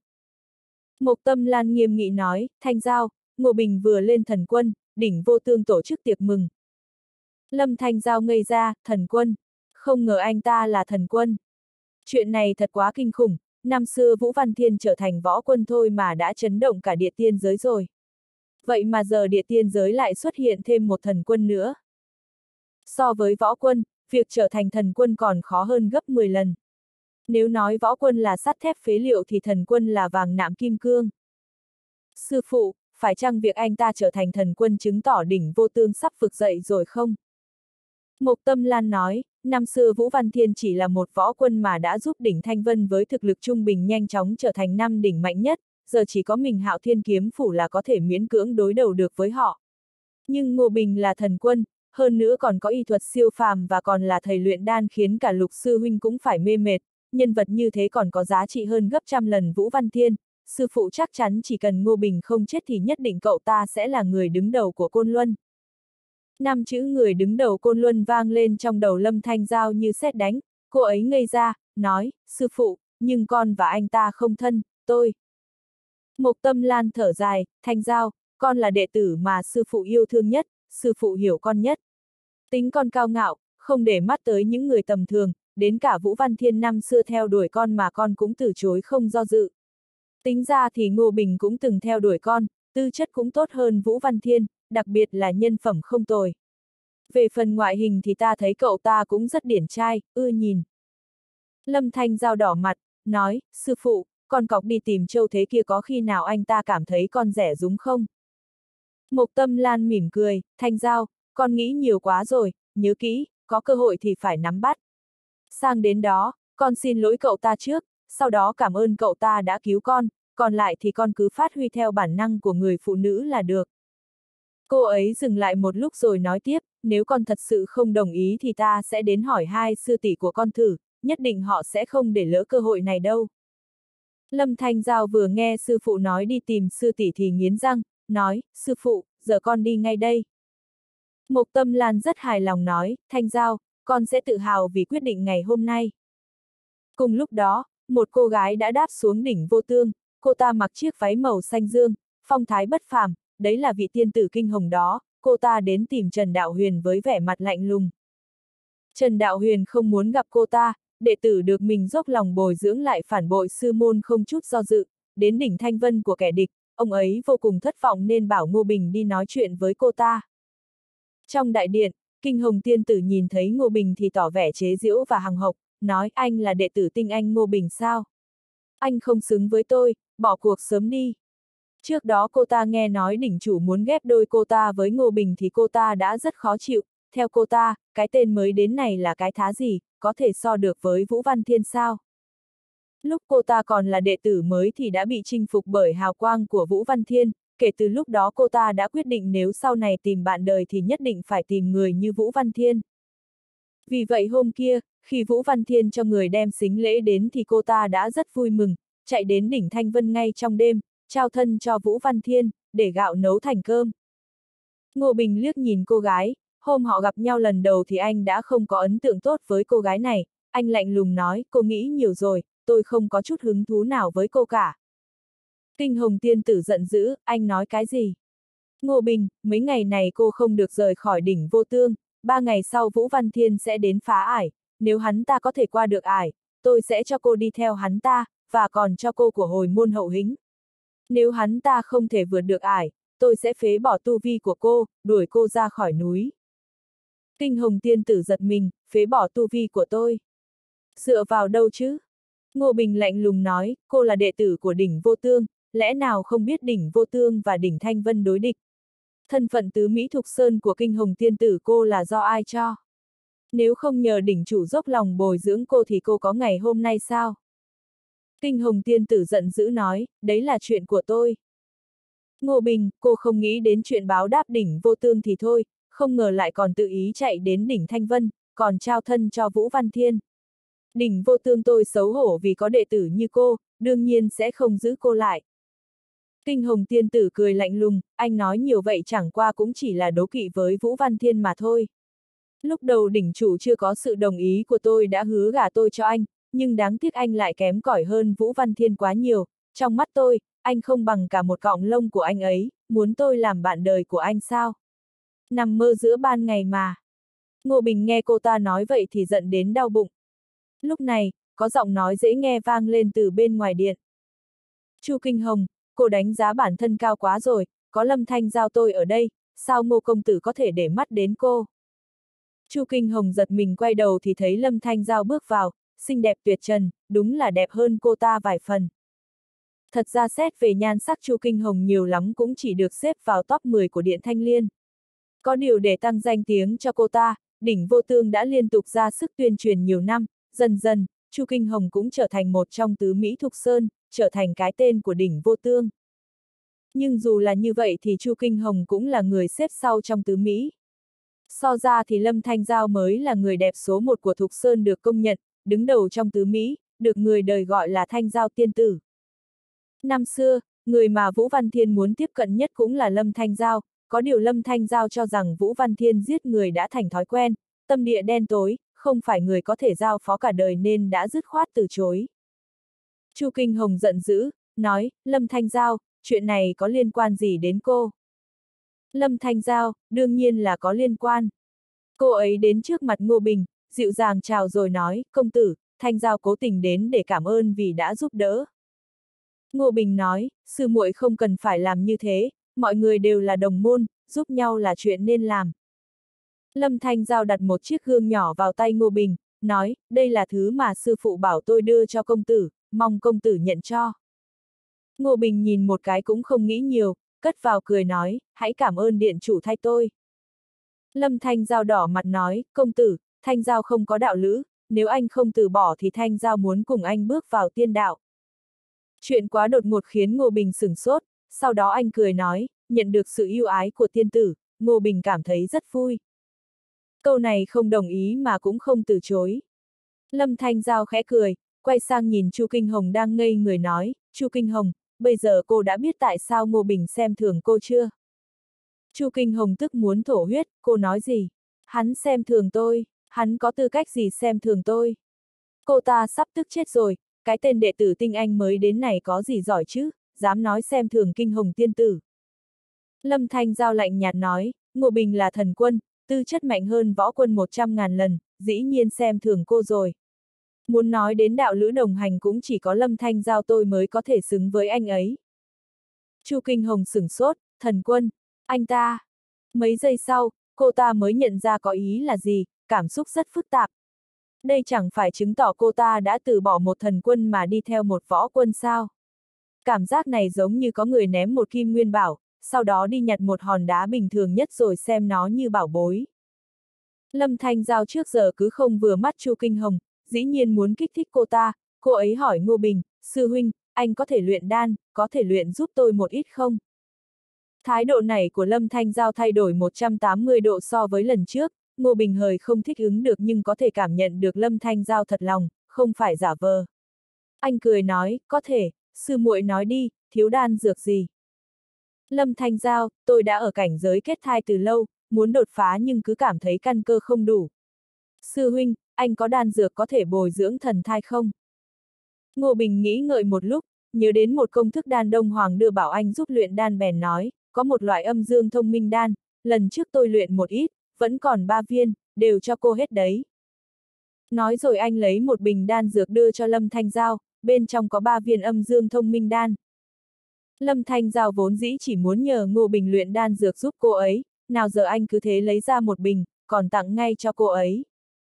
Cô ấy vừa ngạc nhiên vừa mừng rỡ nói, sư huynh, đan dược này rất quý đúng không? Ngô Bình, tôi không rõ nữa. Thấy thế Chu Kinh Hồng vừa ngưỡng mộ vừa đố kỵ, cô ta hừ một tiếng nói, trời đều có thể là tiên quân, thần quân thì thế nào? Không chừng còn chẳng có cơ hội đột phá trở thành địa tiên nữa là. Lâm Thanh Giao cười mỉa nói, Ngô Bình muốn đột phá thì đã đột phá từ lâu rồi. Sau đó cô ấy hỏi Ngô Bình, đúng không? Không cần nói dối những chuyện tu hành này, anh nói, tôi nghe nói sau nhân tiên cảnh giới cực thì còn hai cảnh giới, tôi vẫn đang tìm tòi nghiên cứu. Câu này của anh không chỉ là Chu Kinh Hồng mà ngay cả Lâm Thanh Giao cũng giật mình, cô ấy ngạc nhiên hỏi, anh nói sau nhân tiên cảnh giới cực vẫn còn hai cảnh giới nhân tiên. Ngô Bình gật đầu, dĩ nhiên là có, chẳng qua người biết đến nó rất ít. Lâm Thanh Giao hỏi, đó là cảnh giới gì? Ngô Bình đọc lướt qua nội dung của Ngọc Bàn, trên đó nói nhân tiên có bốn cảnh giới lần lượt là cảnh giới vương, cảnh giới thánh, cảnh giới cực, cảnh giới đế. Trong đó cảnh giới vương gồm cảnh giới thứ nhất nhân tiên và cảnh giới thứ hai nhân tiên, người bình thường gọi cảnh giới thứ nhất nhân tiên là võ vương, cảnh giới thứ hai nhân tiên là võ thần. Cảnh giới thánh cực kỳ hiếm, bao gồm cảnh giới thứ ba nhân tiên và cảnh giới thứ bốn nhân tiên, cảnh giới thứ ba nhân tiên là võ thánh, cảnh giới thứ bốn nhân tiên là thiên sư. Cảnh giới cực càng ít thấy hơn, bao gồm cả võ quân cảnh giới thứ năm nhân tiên và thần quân cảnh giới thứ sáu nhân tiên, hiện giờ Ngô Bình đang ở trong cảnh giới thần quân, nắm giữ thần thông. Mà sau cảnh giới cực còn có cảnh giới đế. Cảnh giới đế gồm cảnh giới thứ bảy nhân tiên và cảnh giới thứ tám nhân tiên, trong đó cảnh giới thứ bảy nhân tiên phá vỡ xiềng xích của ràng buộc huyết mạch, mở ra truyền thừa huyết mạch tiên tổ, tu sĩ ở cảnh giới này được người xưa gọi là nhân vương. Cảnh giới thứ 8 thì một mình phá vỡ xiềng xích mà hiền chiết chưa từng phá vỡ, mở ra một tiền lệ cho sự tiến hóa của loài người, được gọi là hoàng đế. Tam hoàng ngũ đế trong truyền thuyết thần thoại đều thuộc loại này. Nếu một tu sĩ trở thành cảnh giới hoàng đế thì huyết mạch của người đó là đế huyết, hoàng huyết, truyền thừa từ đời này sang đời khác. Cho dù trải qua bao nhiêu thế hệ, con cháu đời sau của người đó cũng đều là đế duệ hoàng tộc, sẽ có ngày sinh ra cường giả giống người đó. Ngô Bình không nói rõ, cảnh giới thứ bảy có thể mở ra huyết mạch tổ tiên, cảnh giới thứ tám có thể mở ra xiềng xích tồn tại tiên thiên của loài người, giải phóng nhiều sức mạnh hơn. Nghe xong Lâm Thanh Giao nói, sư huynh, anh sẽ đột phá cảnh giới thứ bảy sao? Ngô Bình nghĩ ngợi một lúc, tôi đã phá vỡ xiềng xích của tổ tiên, chắc cũng không quá khó. Lâm Thanh Giao cực kỳ vui mừng, giỏi quá đi. Lúc này ánh mắt cô ấy hiện lên vẻ ngưỡng mộ, nỗi bất bình do Ngô Bình đánh cô ấy trước đó đã biến mất trong tích tắc. Cô ấy cố ý chọc tức Chu Kinh Hồng, lại hỏi, vậy đến cảnh giới thứ bảy nhân tiên, có phải sư huynh có thể đánh thắng tiên quân dễ dàng không? Ngô Bình nghĩ một lúc rồi nói, hễ có thể để lại truyền thừa trong huyết mạch thị tộc thì đều là hiền chiết của nhân gian, bá chủ tu chân, có thể nắm giữ sức mạnh của họ, đánh bại tiên quân là chuyện nhỏ. Nếu nắm chắc sức mạnh tiên tổ, thậm chí có thể so sánh với tiên tôn đoạt thiên. Đôi mắt lâm thanh giao phát sang, tiên tôn đoạt thiên sao? Tôi từng nghe sư phụ nói, tiên tôn đoạt thiên trong địa tiên có thể đánh bại được cả thiên tiên bán bộ. Ngô Bình cười nói, vậy thì phải xem tình hình cụ thể, thiên tiên bán bộ cũng rất mạnh. Lâm Thanh Giao mỉm cười, sư huynh, nghe nói đỉnh thiếu long của anh có một con dao long, tôi có thể đi xem không? Ngô Bình, được chứ? Sau đó anh lạnh lùng nói với Chu Kinh Hồng, cô ở lại Thanh Vân Phong, không được rời khỏi một bước nếu không tôi sẽ đánh chết cô. Chu Kinh Hồng vừa tức vừa giận, tâm trạng cực kỳ phức tạp nhìn Ngô Bình và Lâm Thanh Giao bay lên không trung, thế mà lại tức đến mức rơi nước mắt. Một trưởng lão đi đến, thở dài nói, đừng khóc nữa, khóc cũng muộn rồi. Đây là một người đàn ông trung niên, ông ta chính là sư phụ của Chu Kinh Hồng, trưởng lão hoa của vô tương phong. Lúc đầu ông ta rất xem trọng Chu Kinh Hồng, cố gắng bồi dưỡng, sau đó Chu Kinh Hồng trở thành người đẹp ở núi Thục, danh tiếng ngày càng cao, có thể lấy được tài nguyên từ phong chủ nên dần dần cũng không còn quan tâm đến vị sư phụ này nữa, không ngờ hai người lại gặp nhau trong tình thế này. Chu Kinh Hồng lạnh lùng nói, chuyện của con không cần thầy lo. Trưởng lão Hoa nói, con cũng nghe thấy rồi đấy, sau này cậu ta sẽ vượt qua thần quân, thiên tài như vậy có ai có thể đè ép được cậu ta. Vũ Văn Thiên không được, Thanh Vân Phong cũng không, thậm chí cả địa tiên giới chỉ là cầu ván của cậu ta thôi. Còn đó, tầm nhìn hạn hẹp, rõ ràng có cơ hội tốt như thế lại hai tay dâng lên cho người khác, con và cậu ta đều là đệ tử Thanh Vân Đỉnh, vốn dĩ là sự kết hợp trời sinh. Chu Kinh Hồng càng nghe càng thấy phiền, bèn nói, đừng nói nữa. Tôi có con đường của riêng mình, tôi không hối hận. Thần quân thì sao chứ? Vũ Văn Thiên là tiên quân, anh ta mạnh hơn Ngô Bình nhiều. Trưởng lão Hoa lắc đầu nói, đi theo sư phụ, phong chủ bảo sư phụ sắp xếp cho con ở vô tương phong mấy ngày, không được tự ý rời khỏi đó. Ngay khi Ngô Bình dẫn Lâm Thanh Giao đi xem thuồng luồng trắng, tất nhiên Thanh Vân Phong cũng nhận được tin tức. Điện Thanh Vân ở Thanh Vân Phong. Phong chủ của Thanh Vân Phong tên là Bao Bất Chuyết, lúc này sắc mặt ông ta rất khó coi. Trước hôm nay ông ta vẫn luôn rất vui vẻ, vì Thanh Vân Phong đã có một Vũ Văn Thiên Đô cũng chính là Vũ Văn Thiên, sau đó họ còn không ngừng chiêu sinh các đệ tử thiên tài, sức mạnh dần tăng lên, áp đảo đỉnh vô tương từng là nơi mạnh nhất trong năm phong. Nhưng ông ta vừa nhận được tin tức là đệ tử thiên tài của đỉnh vô tương đã thăng cấp lên thần quân. Ông ta biết quá rõ thần quân có nghĩa là gì, có thần quân ở đó, sau này đỉnh vô tương sẽ chèn ép thanh vân phong, khó mà trở mình. Một người thanh niên đứng đối diện ông ta, sắc mặt người này lạnh như băng, đôi mắt toát ra tia lạnh lẽo, trông rất anh tuấn nhưng lại khiến người khác có cảm giác âm lãnh. Người này chính là Vũ Văn Thiên Đô, hắn mặc bộ đồ ngắn màu bạc, đội ngọc quan trên đầu, một thanh kiếm treo bên thắt lưng. Sư phụ đừng lo nghĩ nhiều, con đã luyện thành kiếm hoàn, giết hắn là chuyện nhỏ, hắn lạnh nhạt nói, không xem Ngô Bình là đối thủ. Bao bất chuyết thở dài, không thể động vào cậu ta, chưa kể cậu ta là luyện đan sư của Điện Trường Sinh, Thục Sơn xuất hiện một thiên tài như vậy, trưởng môn chắc chắn sẽ có cảm ứng, rất có khả năng sẽ xuống núi. Vũ Văn Thiên Đô cũng ngạc nhiên, trưởng môn sẽ xuất quan. Bao bất chuyết gật đầu, có thể trở thành thần quân chắc chắn là người có khí vận lớn, cộng thêm vị trí võ quân của con, chứng tỏ khí vận của Thục Sơn đã đến, dĩ nhiên ông ấy sẽ xuất quan.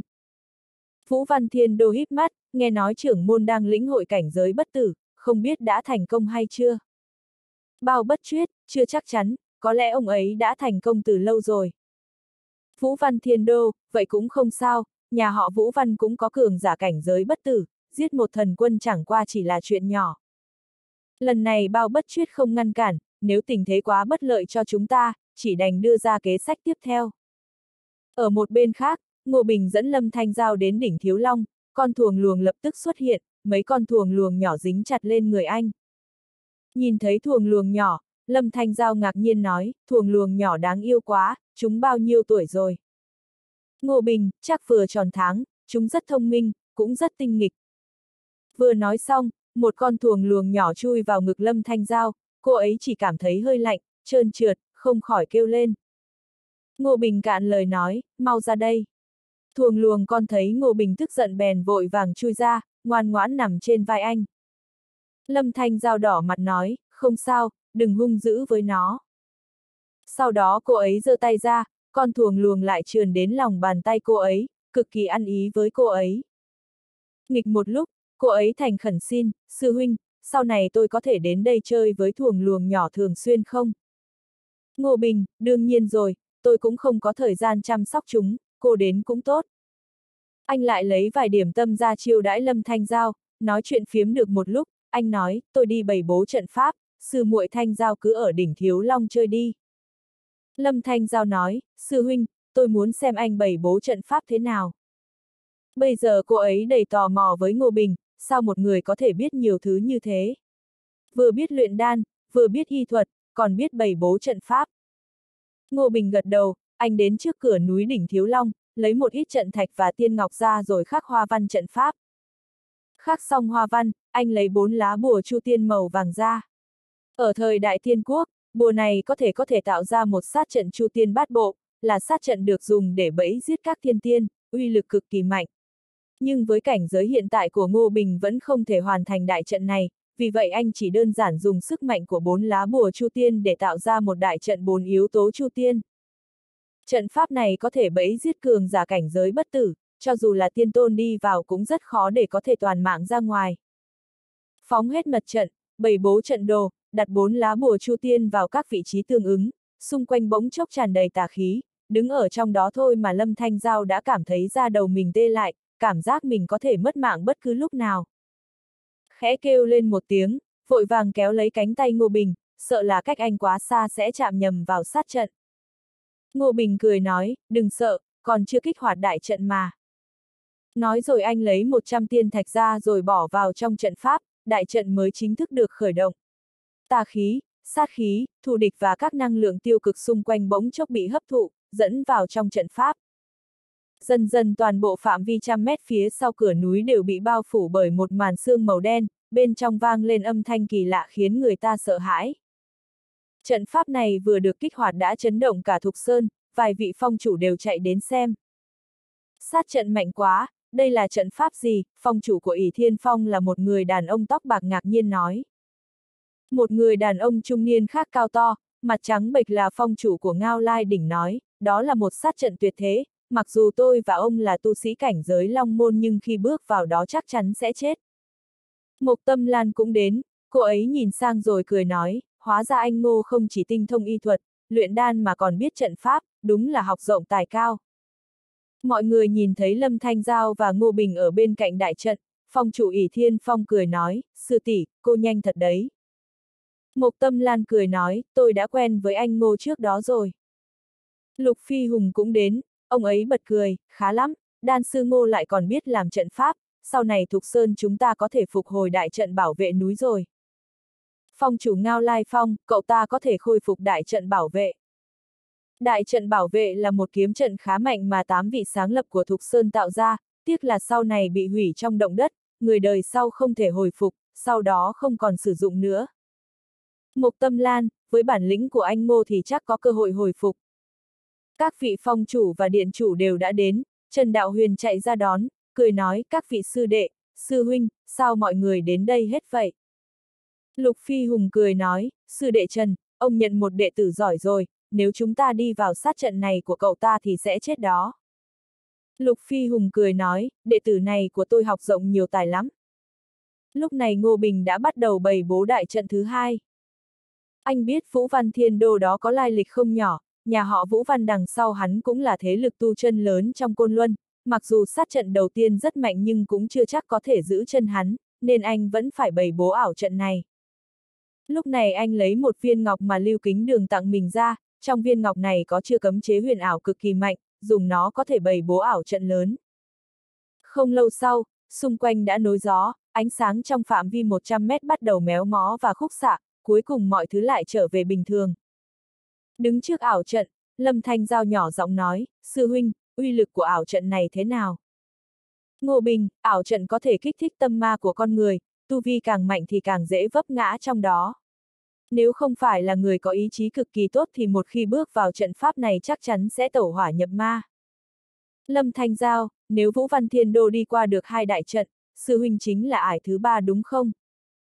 Ngô Bình, đúng thế, dù đại trận không thể cản bước hắn thì vẫn còn có tôi, hắn không thể bước qua khỏi tôi. Anh chú ý an toàn, đừng xem thường anh ta.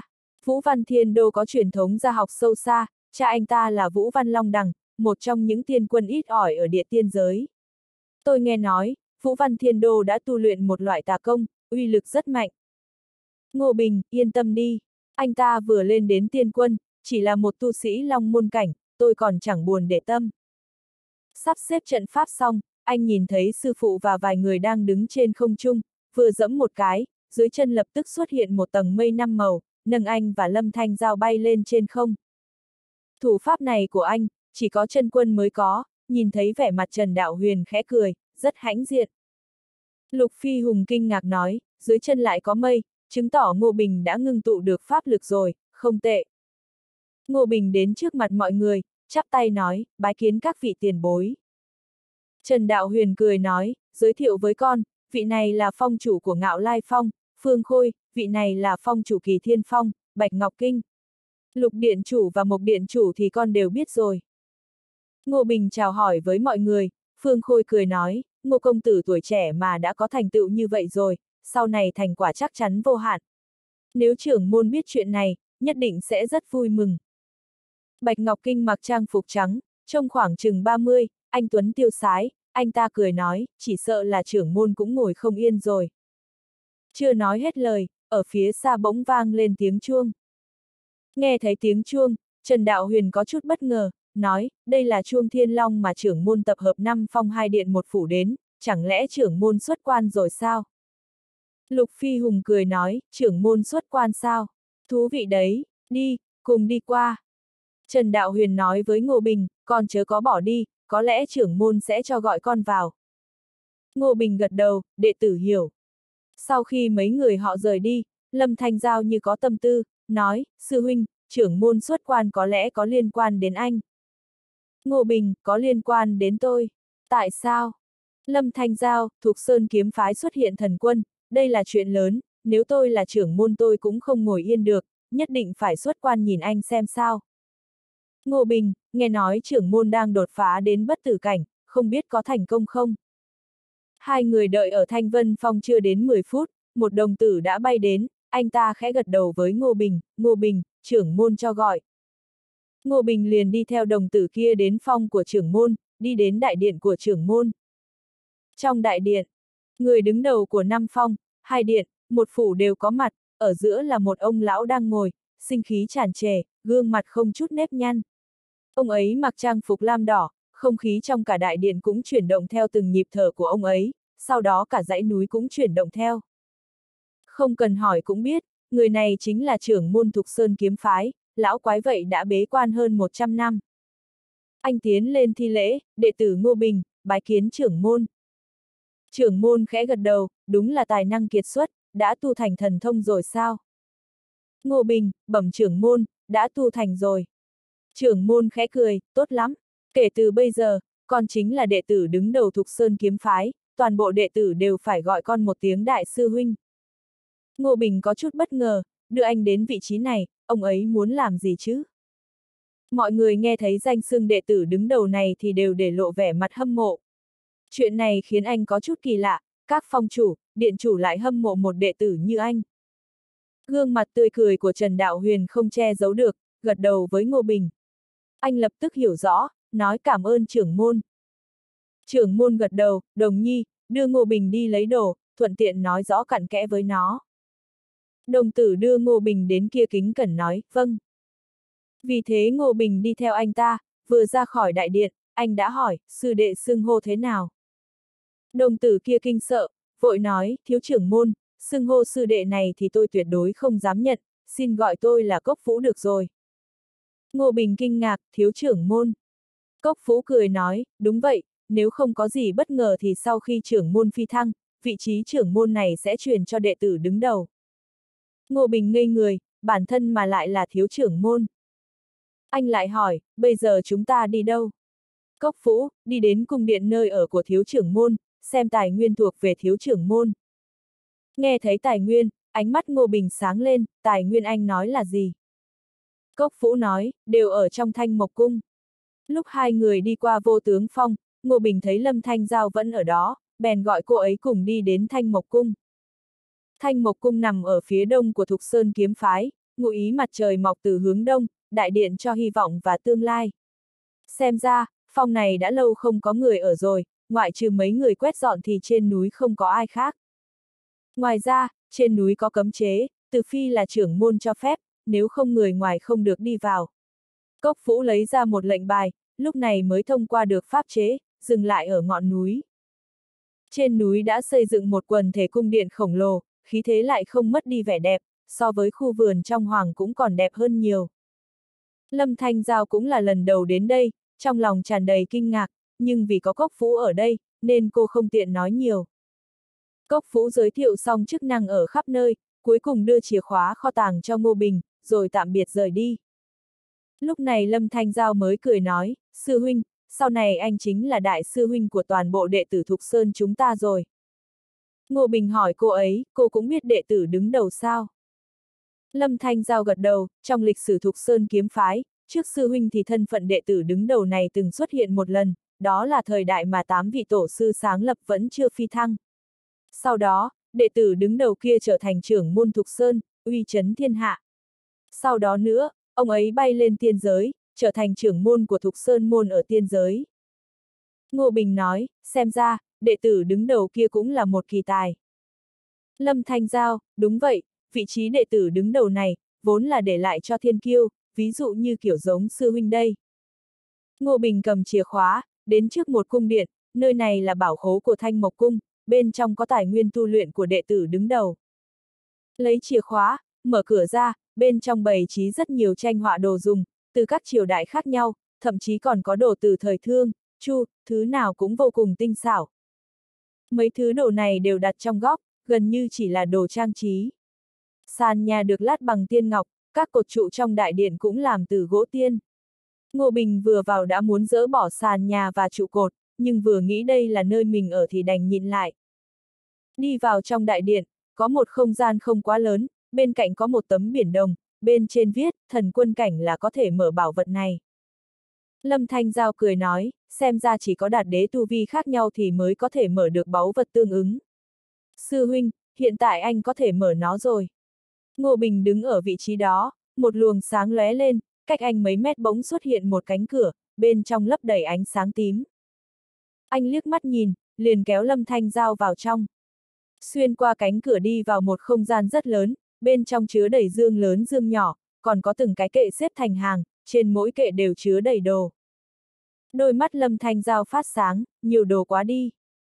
Ngô Bình đưa mắt nhìn, phát hiện trong dương có tiên thạch, linh thạch, còn có hai cái dương bên trong đầy tiền bùa.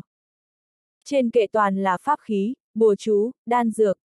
Trong đó, đan dược được niêm phong trong hộp bằng phương pháp đặc biệt, nên vẫn còn hiệu lực. Anh lại nhíu chặt mày, nói, hình như không có đồ gì quá quý giá, linh thạch bình thường, tiên thạch bình thường, đan dược cũng chỉ có hiệu quả với tu sĩ từ cảnh giới linh biến trở xuống. Lâm Thanh Giao, sư huynh, trừ phi đã có người đến nơi này rồi.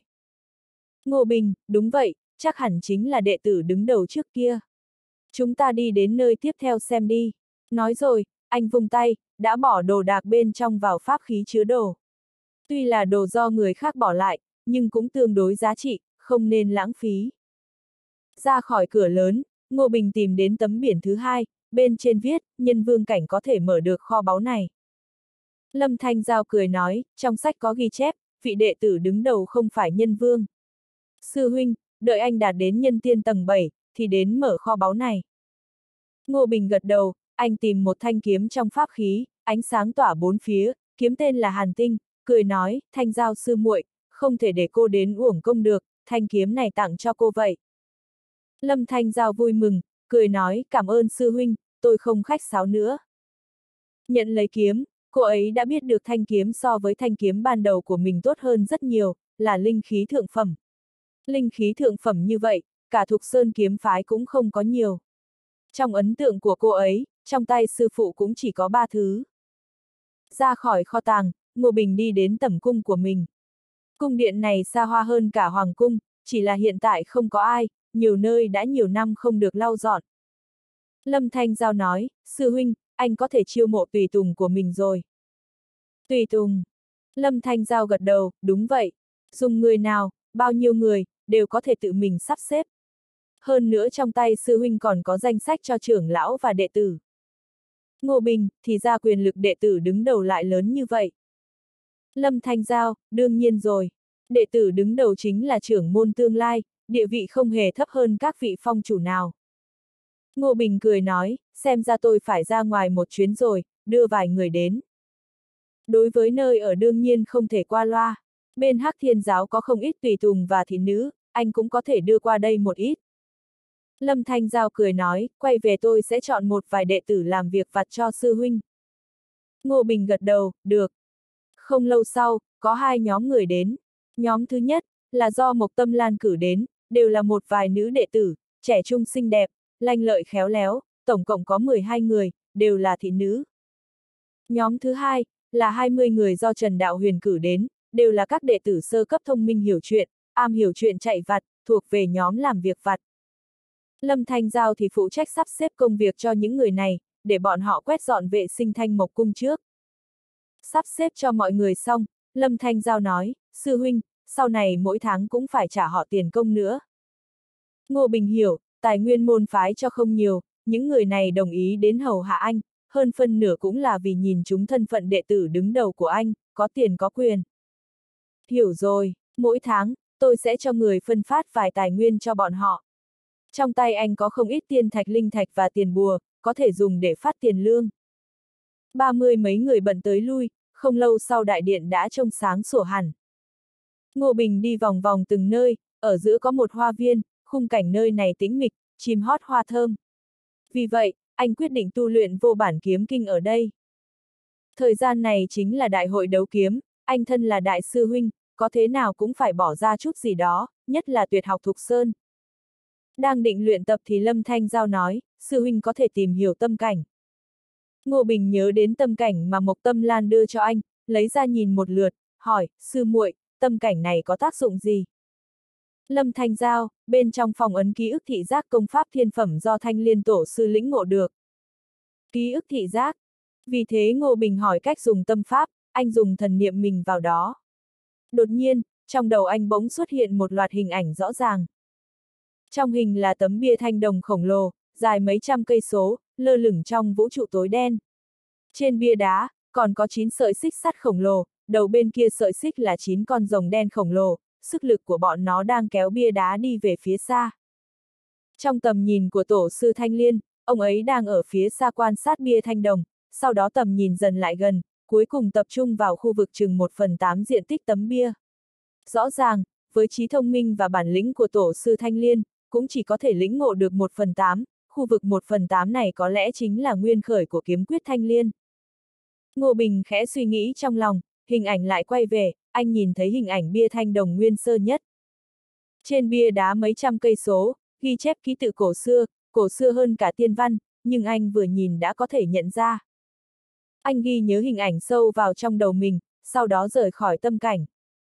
Lâm Thanh Giao vội hỏi, sư huynh có thu hoạch được gì không? Ngô Bình nói, tôi cần bế quan một lát. Thanh Giao, cô canh chừng cho tôi. Lâm Thanh Giao gật đầu, được. Ngô Bình lấy ra tháp tu luyện, thần niệm đi vào trong đó. Trong tháp tu luyện này ít nhất cũng phải tu luyện 6 canh giờ, cũng tức là 12 tiếng đồng hồ, hiệu quả tương đương khổ tu 13 năm. Ngô Bình đi vào trong tháp, khí linh nói, người tu luyện số 367, chào mừng quay lại. Ngô Bình, tu luyện 6 canh giờ. Khí linh, 180 tiền bùa. Ngô Bình giao tiền, rồi bắt đầu lĩnh ngộ toàn bộ hình ảnh bia đá. Trên bia thanh đồng có hơn 3.700 ký tự cổ, mỗi một ký tự đều ẩn chứa ý nghĩa sâu xa, muốn phá vỡ bọn chúng thì cực kỳ tốn thời gian.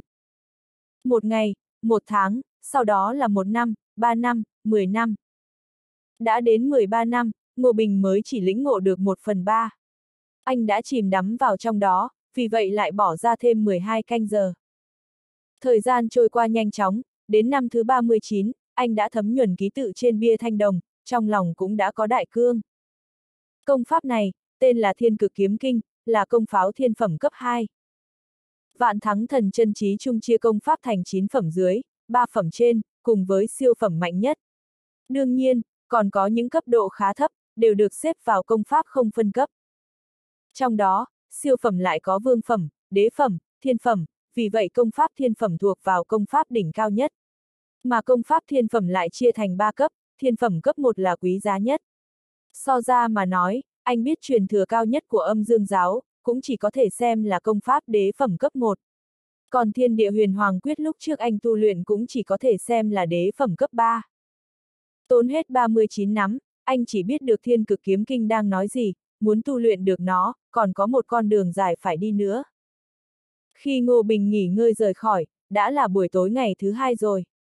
Lâm Thanh Giao vẫn bảo vệ cách đó không xa, thấy anh thì trợn mắt, vội nói, sư huynh, Trần Phong Chủ và Lục Phong Chủ đến tìm anh, bọn họ thấy anh đang tu luyện nên đều quay về rồi. Ngô Bình gật đầu, ừ, tôi biết rồi. Không ngờ tôi đã tu luyện một ngày rưỡi rồi. Lâm Thanh Giao cười nói, sư huynh đã lĩnh ngộ được tâm cảnh chưa? Ngô Bình gật đầu, trước mắt chỉ là mới xem hiểu. Lâm Thanh Giao vô cùng kinh ngạc, xem hiểu rồi sao? Sư huynh thật lợi hại, sư phụ tôi nghiên cứu cả đời, mà chữ bên trên cũng chẳng nhận ra được gì. Ngô Bình cười nói, xem ra cô cũng từng nhìn thấy bia thanh đồng rồi. Lâm Thanh Giao ngây người, bia thanh đồng. Không phải, ban đầu tôi nhìn thấy là một ngọn núi, trên núi viết đầy chữ. Ngô Bình ngây người, cô nhìn thấy núi sao? Lâm Thanh Giao, đúng vậy. Thứ sư phụ nhìn thấy cũng không giống tôi, vật mà sư phụ nhìn thấy là một cầu vồng, trên cầu vồng lại có đầy chữ. Ngô Bình trầm ngâm, xem ra công pháp thiên phẩm này không tầm thường, mỗi người nhìn nhận sự việc không giống nhau, phỏng chừng chỉ có chữ là giống nhau.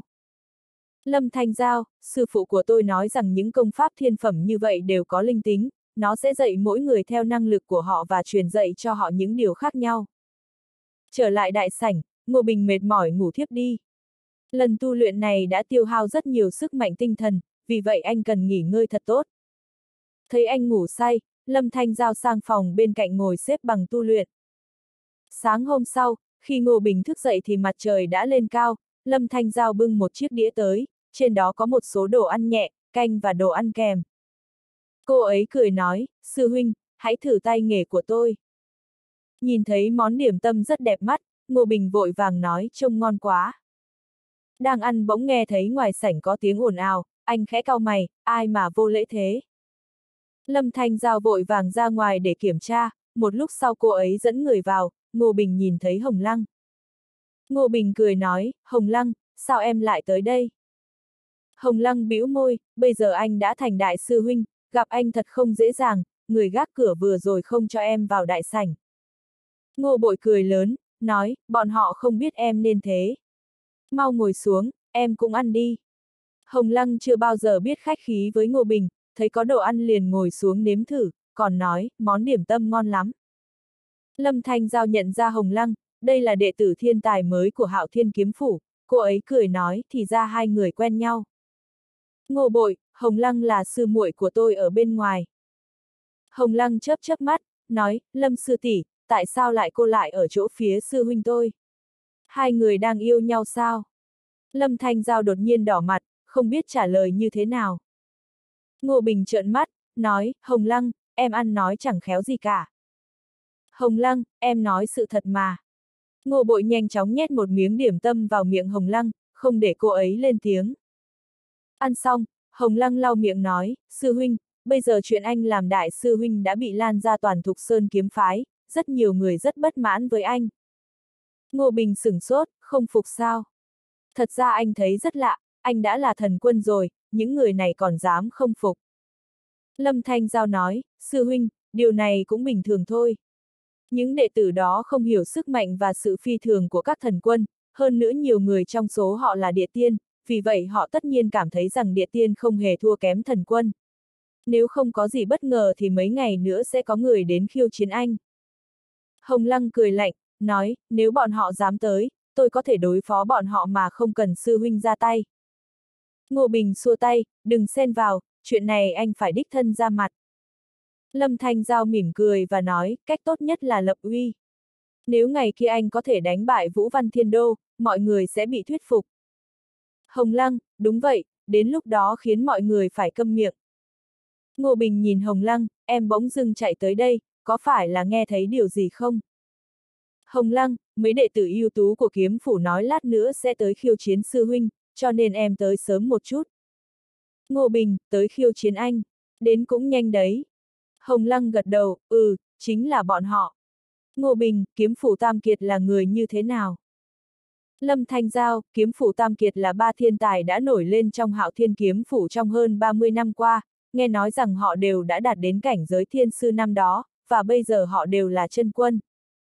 Ngô Bình chẳng thèm quan tâm đến chân quân còn con, nhân lúc Hồng Lăng có ở đây, anh hướng dẫn cô ấy tu luyện. Cuối cùng, cái gọi là kiếm phủ Tam Kiệt không xuất hiện. Hồng Lăng quay về thăm dò điều đó, hóa ra là phủ chủ đã ngăn họ lại và bảo họ hãy đưa ra quyết định sau khi xem trận chiến quyết định giữa Ngô Bình và Vũ Văn Thiên Đô. Ngô Bình rất vui khi được nhàn rỗi. Vào ban đêm, anh bắt đầu tu luyện lưu tinh quyền và man vương công. Sau khoảng thời gian tu luyện không ngừng này, cuối cùng anh đã đạt đến cấp thứ hai tầng thứ 9. Buổi chiều ngày hôm sau, anh thành công đột phá cấp thứ ba. Vào buổi chiều, Ngô Bình đến gặp Trần Đạo Huyền. Trần Đạo Huyền hiển nhiên tâm trạng rất tốt, cười nói, đồ nhi, trưởng môn coi trọng con, thậm chí còn nói so với đệ nhất đệ tử đời trước thì con giỏi hơn nhiều. Ngô Bình, sư phụ, hiện tại trưởng môn là bất tử tiên quân sao? Trần Đạo Huyền cười nói, trưởng môn trăm năm trước đột phá cảnh giới bất tử, hiện tại đã là bán bộ thiên tiên. Trưởng môn vốn muốn đột phá cảnh giới thiên tiên, nhưng còn xuất hiện khiến cho trưởng môn thay đổi kế hoạch. Ngô Bình có hiểu biết đại khái về tình hình tiên giới, anh hỏi, sư phụ, nếu sư phụ phi thăng lên sẽ đi đâu, tiên giới sao? Trần Đạo Huyền, tất nhiên ta muốn đi tiên giới, dù sao Thục Sơn cũng ở nơi đó. Ngô Bình, sư phụ, tương lai con nhất định sẽ tự mình mở ra tiên giới. Trần Đạo Huyền cười lớn, được, đến lúc đó, ta và những người khác đều sẽ có chỗ tá túc rồi.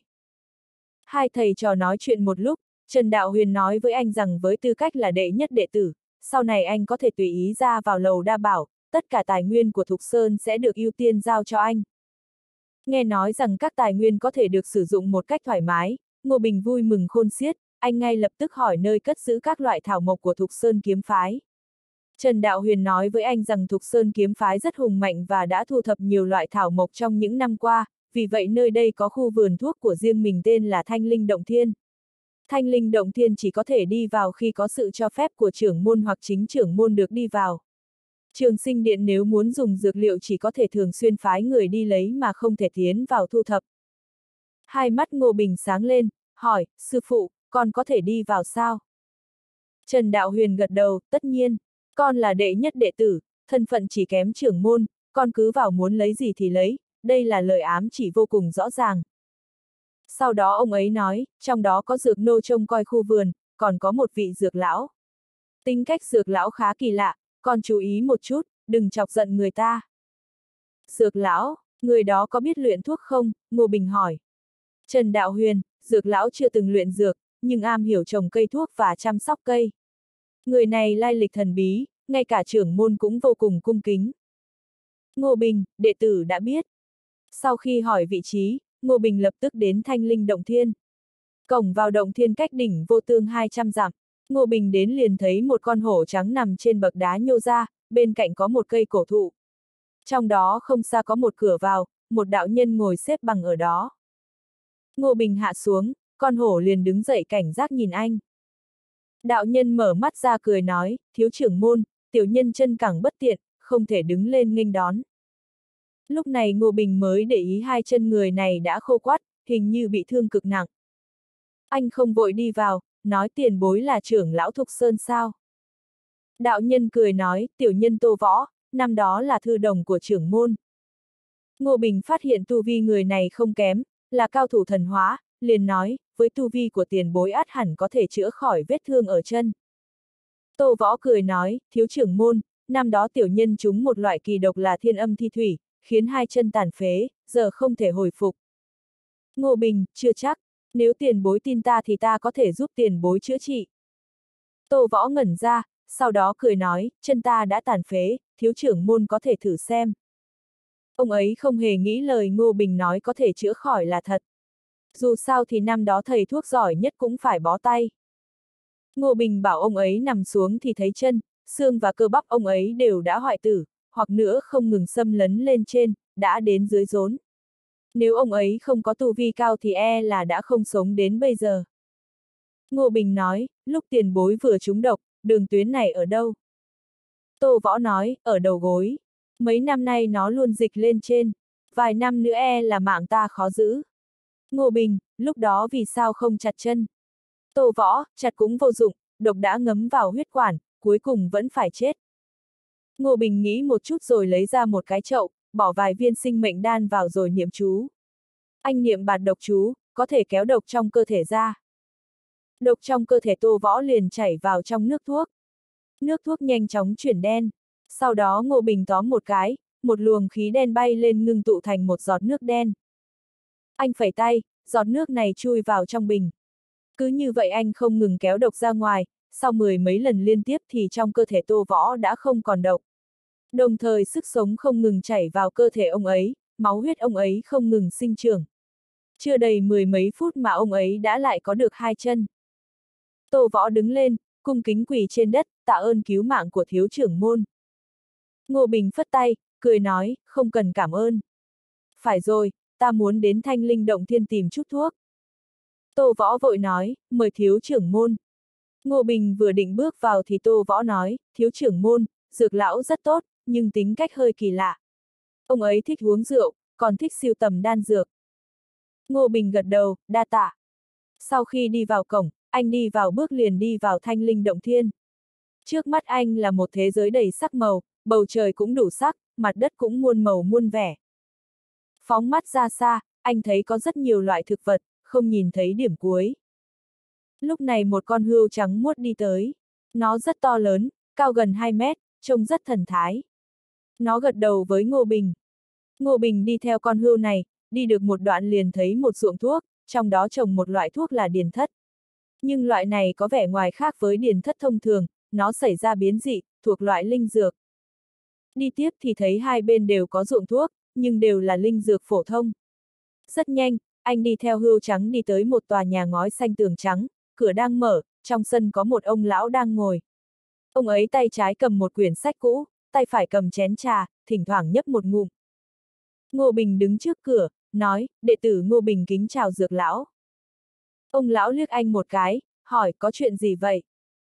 Ngô Bình nói, đệ tử đến hái chút thảo dược. Ông lão, cậu biết y thuật. Ngô Bình, tất nhiên là biết. Ông lão vung tay một cái, một cây thảo dược bình thường bay đến trước mặt Ngô Bình, ông ấy hỏi, đây là thuốc gì? Ngô Bình đã đọc dược điển nên tất nhiên nhận ra, nói, Ngọc Diệp Kim Hoa biến dị này hẳn là có thêm ba loại dược tính, trong đó có một dược tính khá tốt, có thể xếp vào linh dược cấp thứ tư. Dược lão cười nói, cậu thực sự hiểu. Vào đi. Ngô Bình tiến vào trong sân, phát hiện trong sân bày rất nhiều vị thuốc, hai bên gian phòng có mấy dược nô đang bận rộn. Dược lão hỏi, Lưu Vọng Công mời cậu tới sao? Lưu Vọng Công là tên trưởng môn, Ngô Bình nói, hiện tại đệ tử là đệ nhất đệ tử. Dược lão nói, đệ nhất đệ tử, cậu là thần quân sao? Ngô Bình, đệ tử mới thăng cấp không lâu, dược lão gật đầu thảo nào. Ngô Bình, dược lão, nghe nói người rất giỏi phẩm rượu, đệ tử có mấy loại thiên tử, người có muốn nếm thử không? Hai mắt dược lão sáng lên, cười nói, ha ha, có thể thử một chút. Ngô Bình chữ rất nhiều rượu trong người, anh lấy ra ba loại cho dược lão nếm thử. Dược lão uống ly thứ nhất, khẽ nhíu mày nói, thiếu chút ý vị, tạm được. Uống xong loại thứ hai, ông ấy nhíu mày, nói có thể dùng làm khẩu phần quân nhu. Uống đến loại thứ ba, lông mày ông ấy run lên, hai mắt lấp lánh, cười nói, xuất sắc. Rượu này có thể xếp vào loại thượng phẩm. Ngô Bình cười nói, loại rượu thứ ba này đệ tử dùng thảo dược và ngũ cốc nấu, cảm ơn dược lão khen ngợi. Khi Ngô Bình luyện chế thuốc sẽ có rất nhiều bã thuốc, anh thu gom bã thuốc rồi nấu một loại rượu gọi là bách thảo túy. Dược lão cười nói, không ngờ cậu có thể nấu rượu, không tồi, hẳn là dùng bã thuốc đúng không?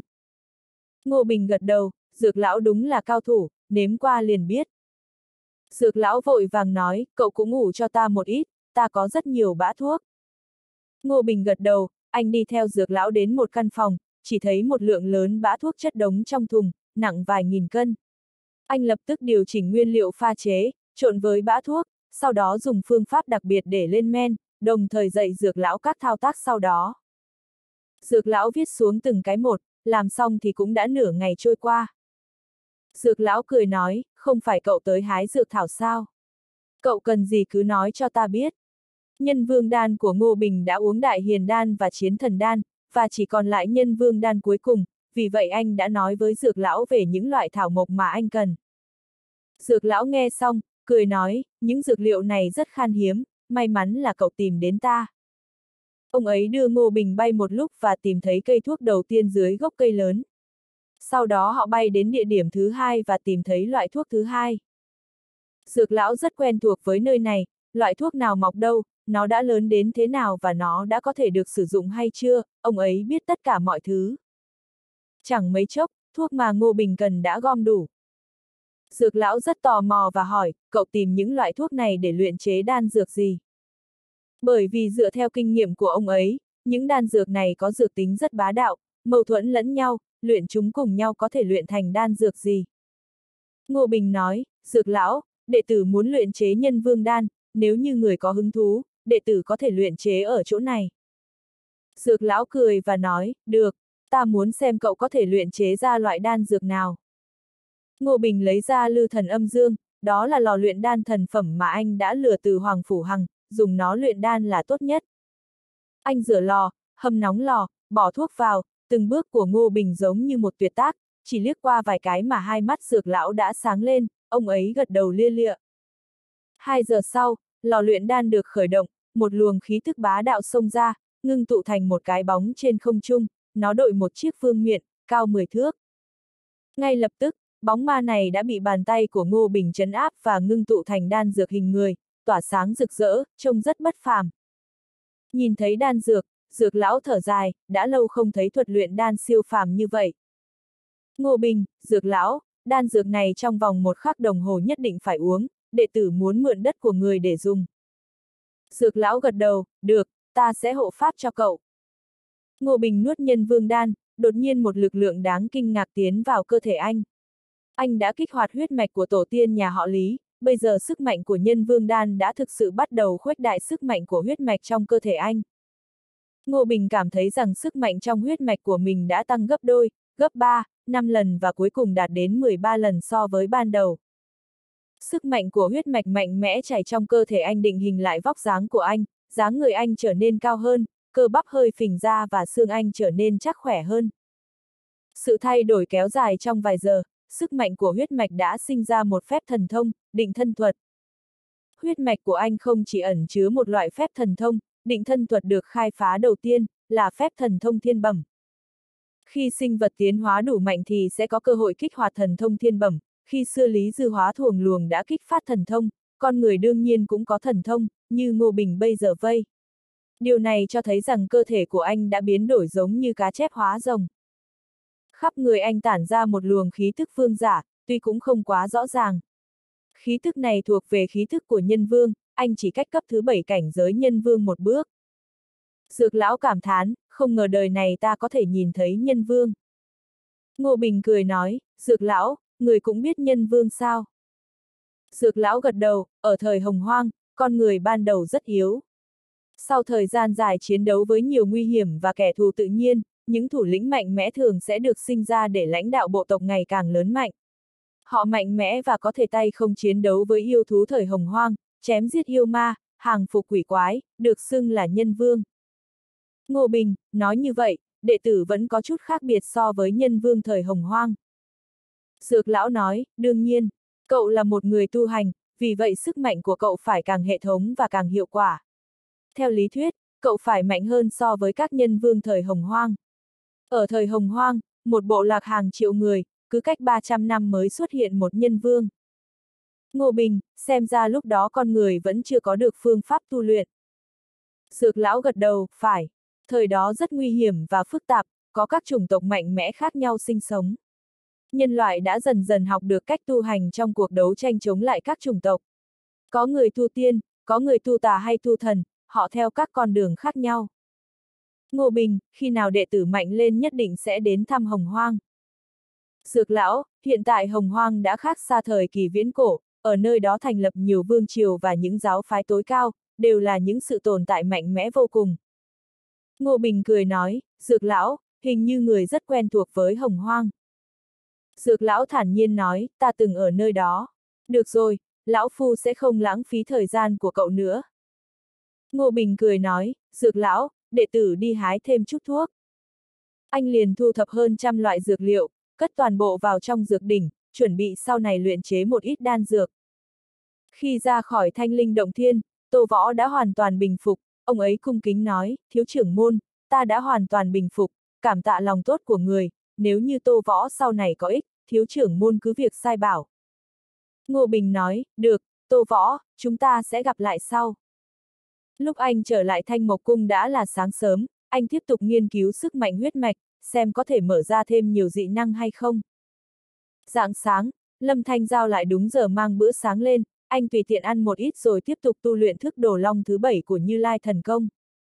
Thức thứ bảy này đã sinh ra các pháp thuật trước đây, bây giờ chúng sắp tập trung tạo một phép thần thông võ đạo. Ngô Bình không ngừng thử nghiệm, cố gắng luyện tập. Mãi đến chiều, anh sử dụng ý chí, tay phải đẩy ngang, một bóng trưởng mờ ảo bay ra. Ngay sau đó, một ngọn núi cách đó mấy chục dặm đột nhiên sụp xuống, thật lâu sau mới truyền đến một tiếng nổ lớn. Lâm Thanh Giao kinh hãi gọi, sư huynh, đây là chiêu gì? Ngô Bình lạnh nhạt nói, sát long trưởng. Nói xong, anh nhanh chóng nuốt xuống một nắm sinh mệnh đan, nói tôi còn là nhân tiên, một khi tung phép thần thông này ra thì một nửa sức mạnh sẽ biến mất. Lâm Thanh Giao, thế cũng rất mạnh rồi. Một khi đồ long trưởng được tung ra, tôi không thể chống cự được. Tôi thậm chí còn cảm thấy rằng sư phụ cũng không thể chống cự được. Ngô Bình, đương nhiên, động thiên tiên nhân cũng sẽ hộc máu trước trưởng này của tôi. Lâm Thanh Giao, sư huynh, người của đỉnh vô tương đã tới gọi cho anh nhiều lần, nói rằng bữa tiệc mừng đã bắt đầu. Ngô Bình, đi thôi, đã đến giờ rồi. Đêm đó, đỉnh vô tương tổ chức một bữa tiệc lớn để chúc mừng Ngô Bình được thăng lên thần quân. Các phong chủ của ba đỉnh còn lại, chủ nhân của trường sinh điện và chủ nhân của thanh liên điện đều đến chúc mừng. Sau khi Ngô Bình đến, mọi người lần lượt chúc mừng anh. Thân phận hiện tại của Ngô Bình là thiếu trưởng môn của Thục Sơn Kiếm Phái, tất cả các phong chủ và điện chủ đều phải khách khí với anh. Từ năm đỉnh hai điện một phủ đều có rất nhiều người đến xem náo nhiệt, dù sao thì đây là tiệc mở, đến là có thể ăn. Những người này cũng không khách sáo, vừa trò chuyện vừa ăn uống. Trên một cái bàn có ba người đang ngồi, họ là kiếm phủ tam kiệt, đều có tu vi chân quân. Ba người nhìn Ngô Bình đang được mọi người vây quanh, trên mặt họ tràn đầy bất mãn, một người trong đó nói, chỉ là thần quân mà thôi, so với chân quân chúng ta thì mạnh hơn bao nhiêu. Một người khác nói, danh hiệu thần quân từ lâu đã là thần thoại, theo ta thì chẳng qua cũng chỉ là như vậy. Đúng vậy, những đệ tử khác vội vàng phụ họa, thiên tài chân chính hẳn là đã sớm nổi danh, nhưng theo ta được biết, người bên ngoài thậm chí còn không biết có một người như vậy. Không phải đâu, ta nhớ rõ Vũ Văn Sư Huynh đánh trăm trận lớn nhỏ ở địa tiên giới, không thua một người nào, địa tiên giới ai mà không biết, ai không hay. So ra, vị Sư Huynh này thật sự kém xa. Ha ha, Sư Huynh, ta thật sự không hiểu, loại người này không hề nổi danh, không có chống lưng, vậy thì có tư cách làm Sư Huynh của chúng ta sao? Huống chi tổ tiên chúng ta mấy đời đều là đệ tử và trưởng lão Thục Sơn, tên họ ngô đó là cái thá gì, có thể so với chúng ta sao? Hừ, chúng ta không thể quyết định, chỉ có thể oán trách. Bốp! Một người trong kiếm phủ tam kiệt đột nhiên đập bàn, lạnh lùng nói ta mời hắn một chén rượu. Mọi người vỗ tay ẩm ý, hắn cười nói, đại sư huynh. Giọng hắn to đến nỗi mọi người xung quanh đều nhìn sang. Trần Đạo Huyền cùng mấy vị phong chủ và điện chủ ngồi cùng nhau, nhìn thấy cảnh này, Trần Đạo Huyền bình tĩnh nói, làm sư huynh nhất định phải đối mặt các loại thử thách, nếu không bọn họ sẽ không phục. Audio điện tử võ tấn bền. Hết tập 59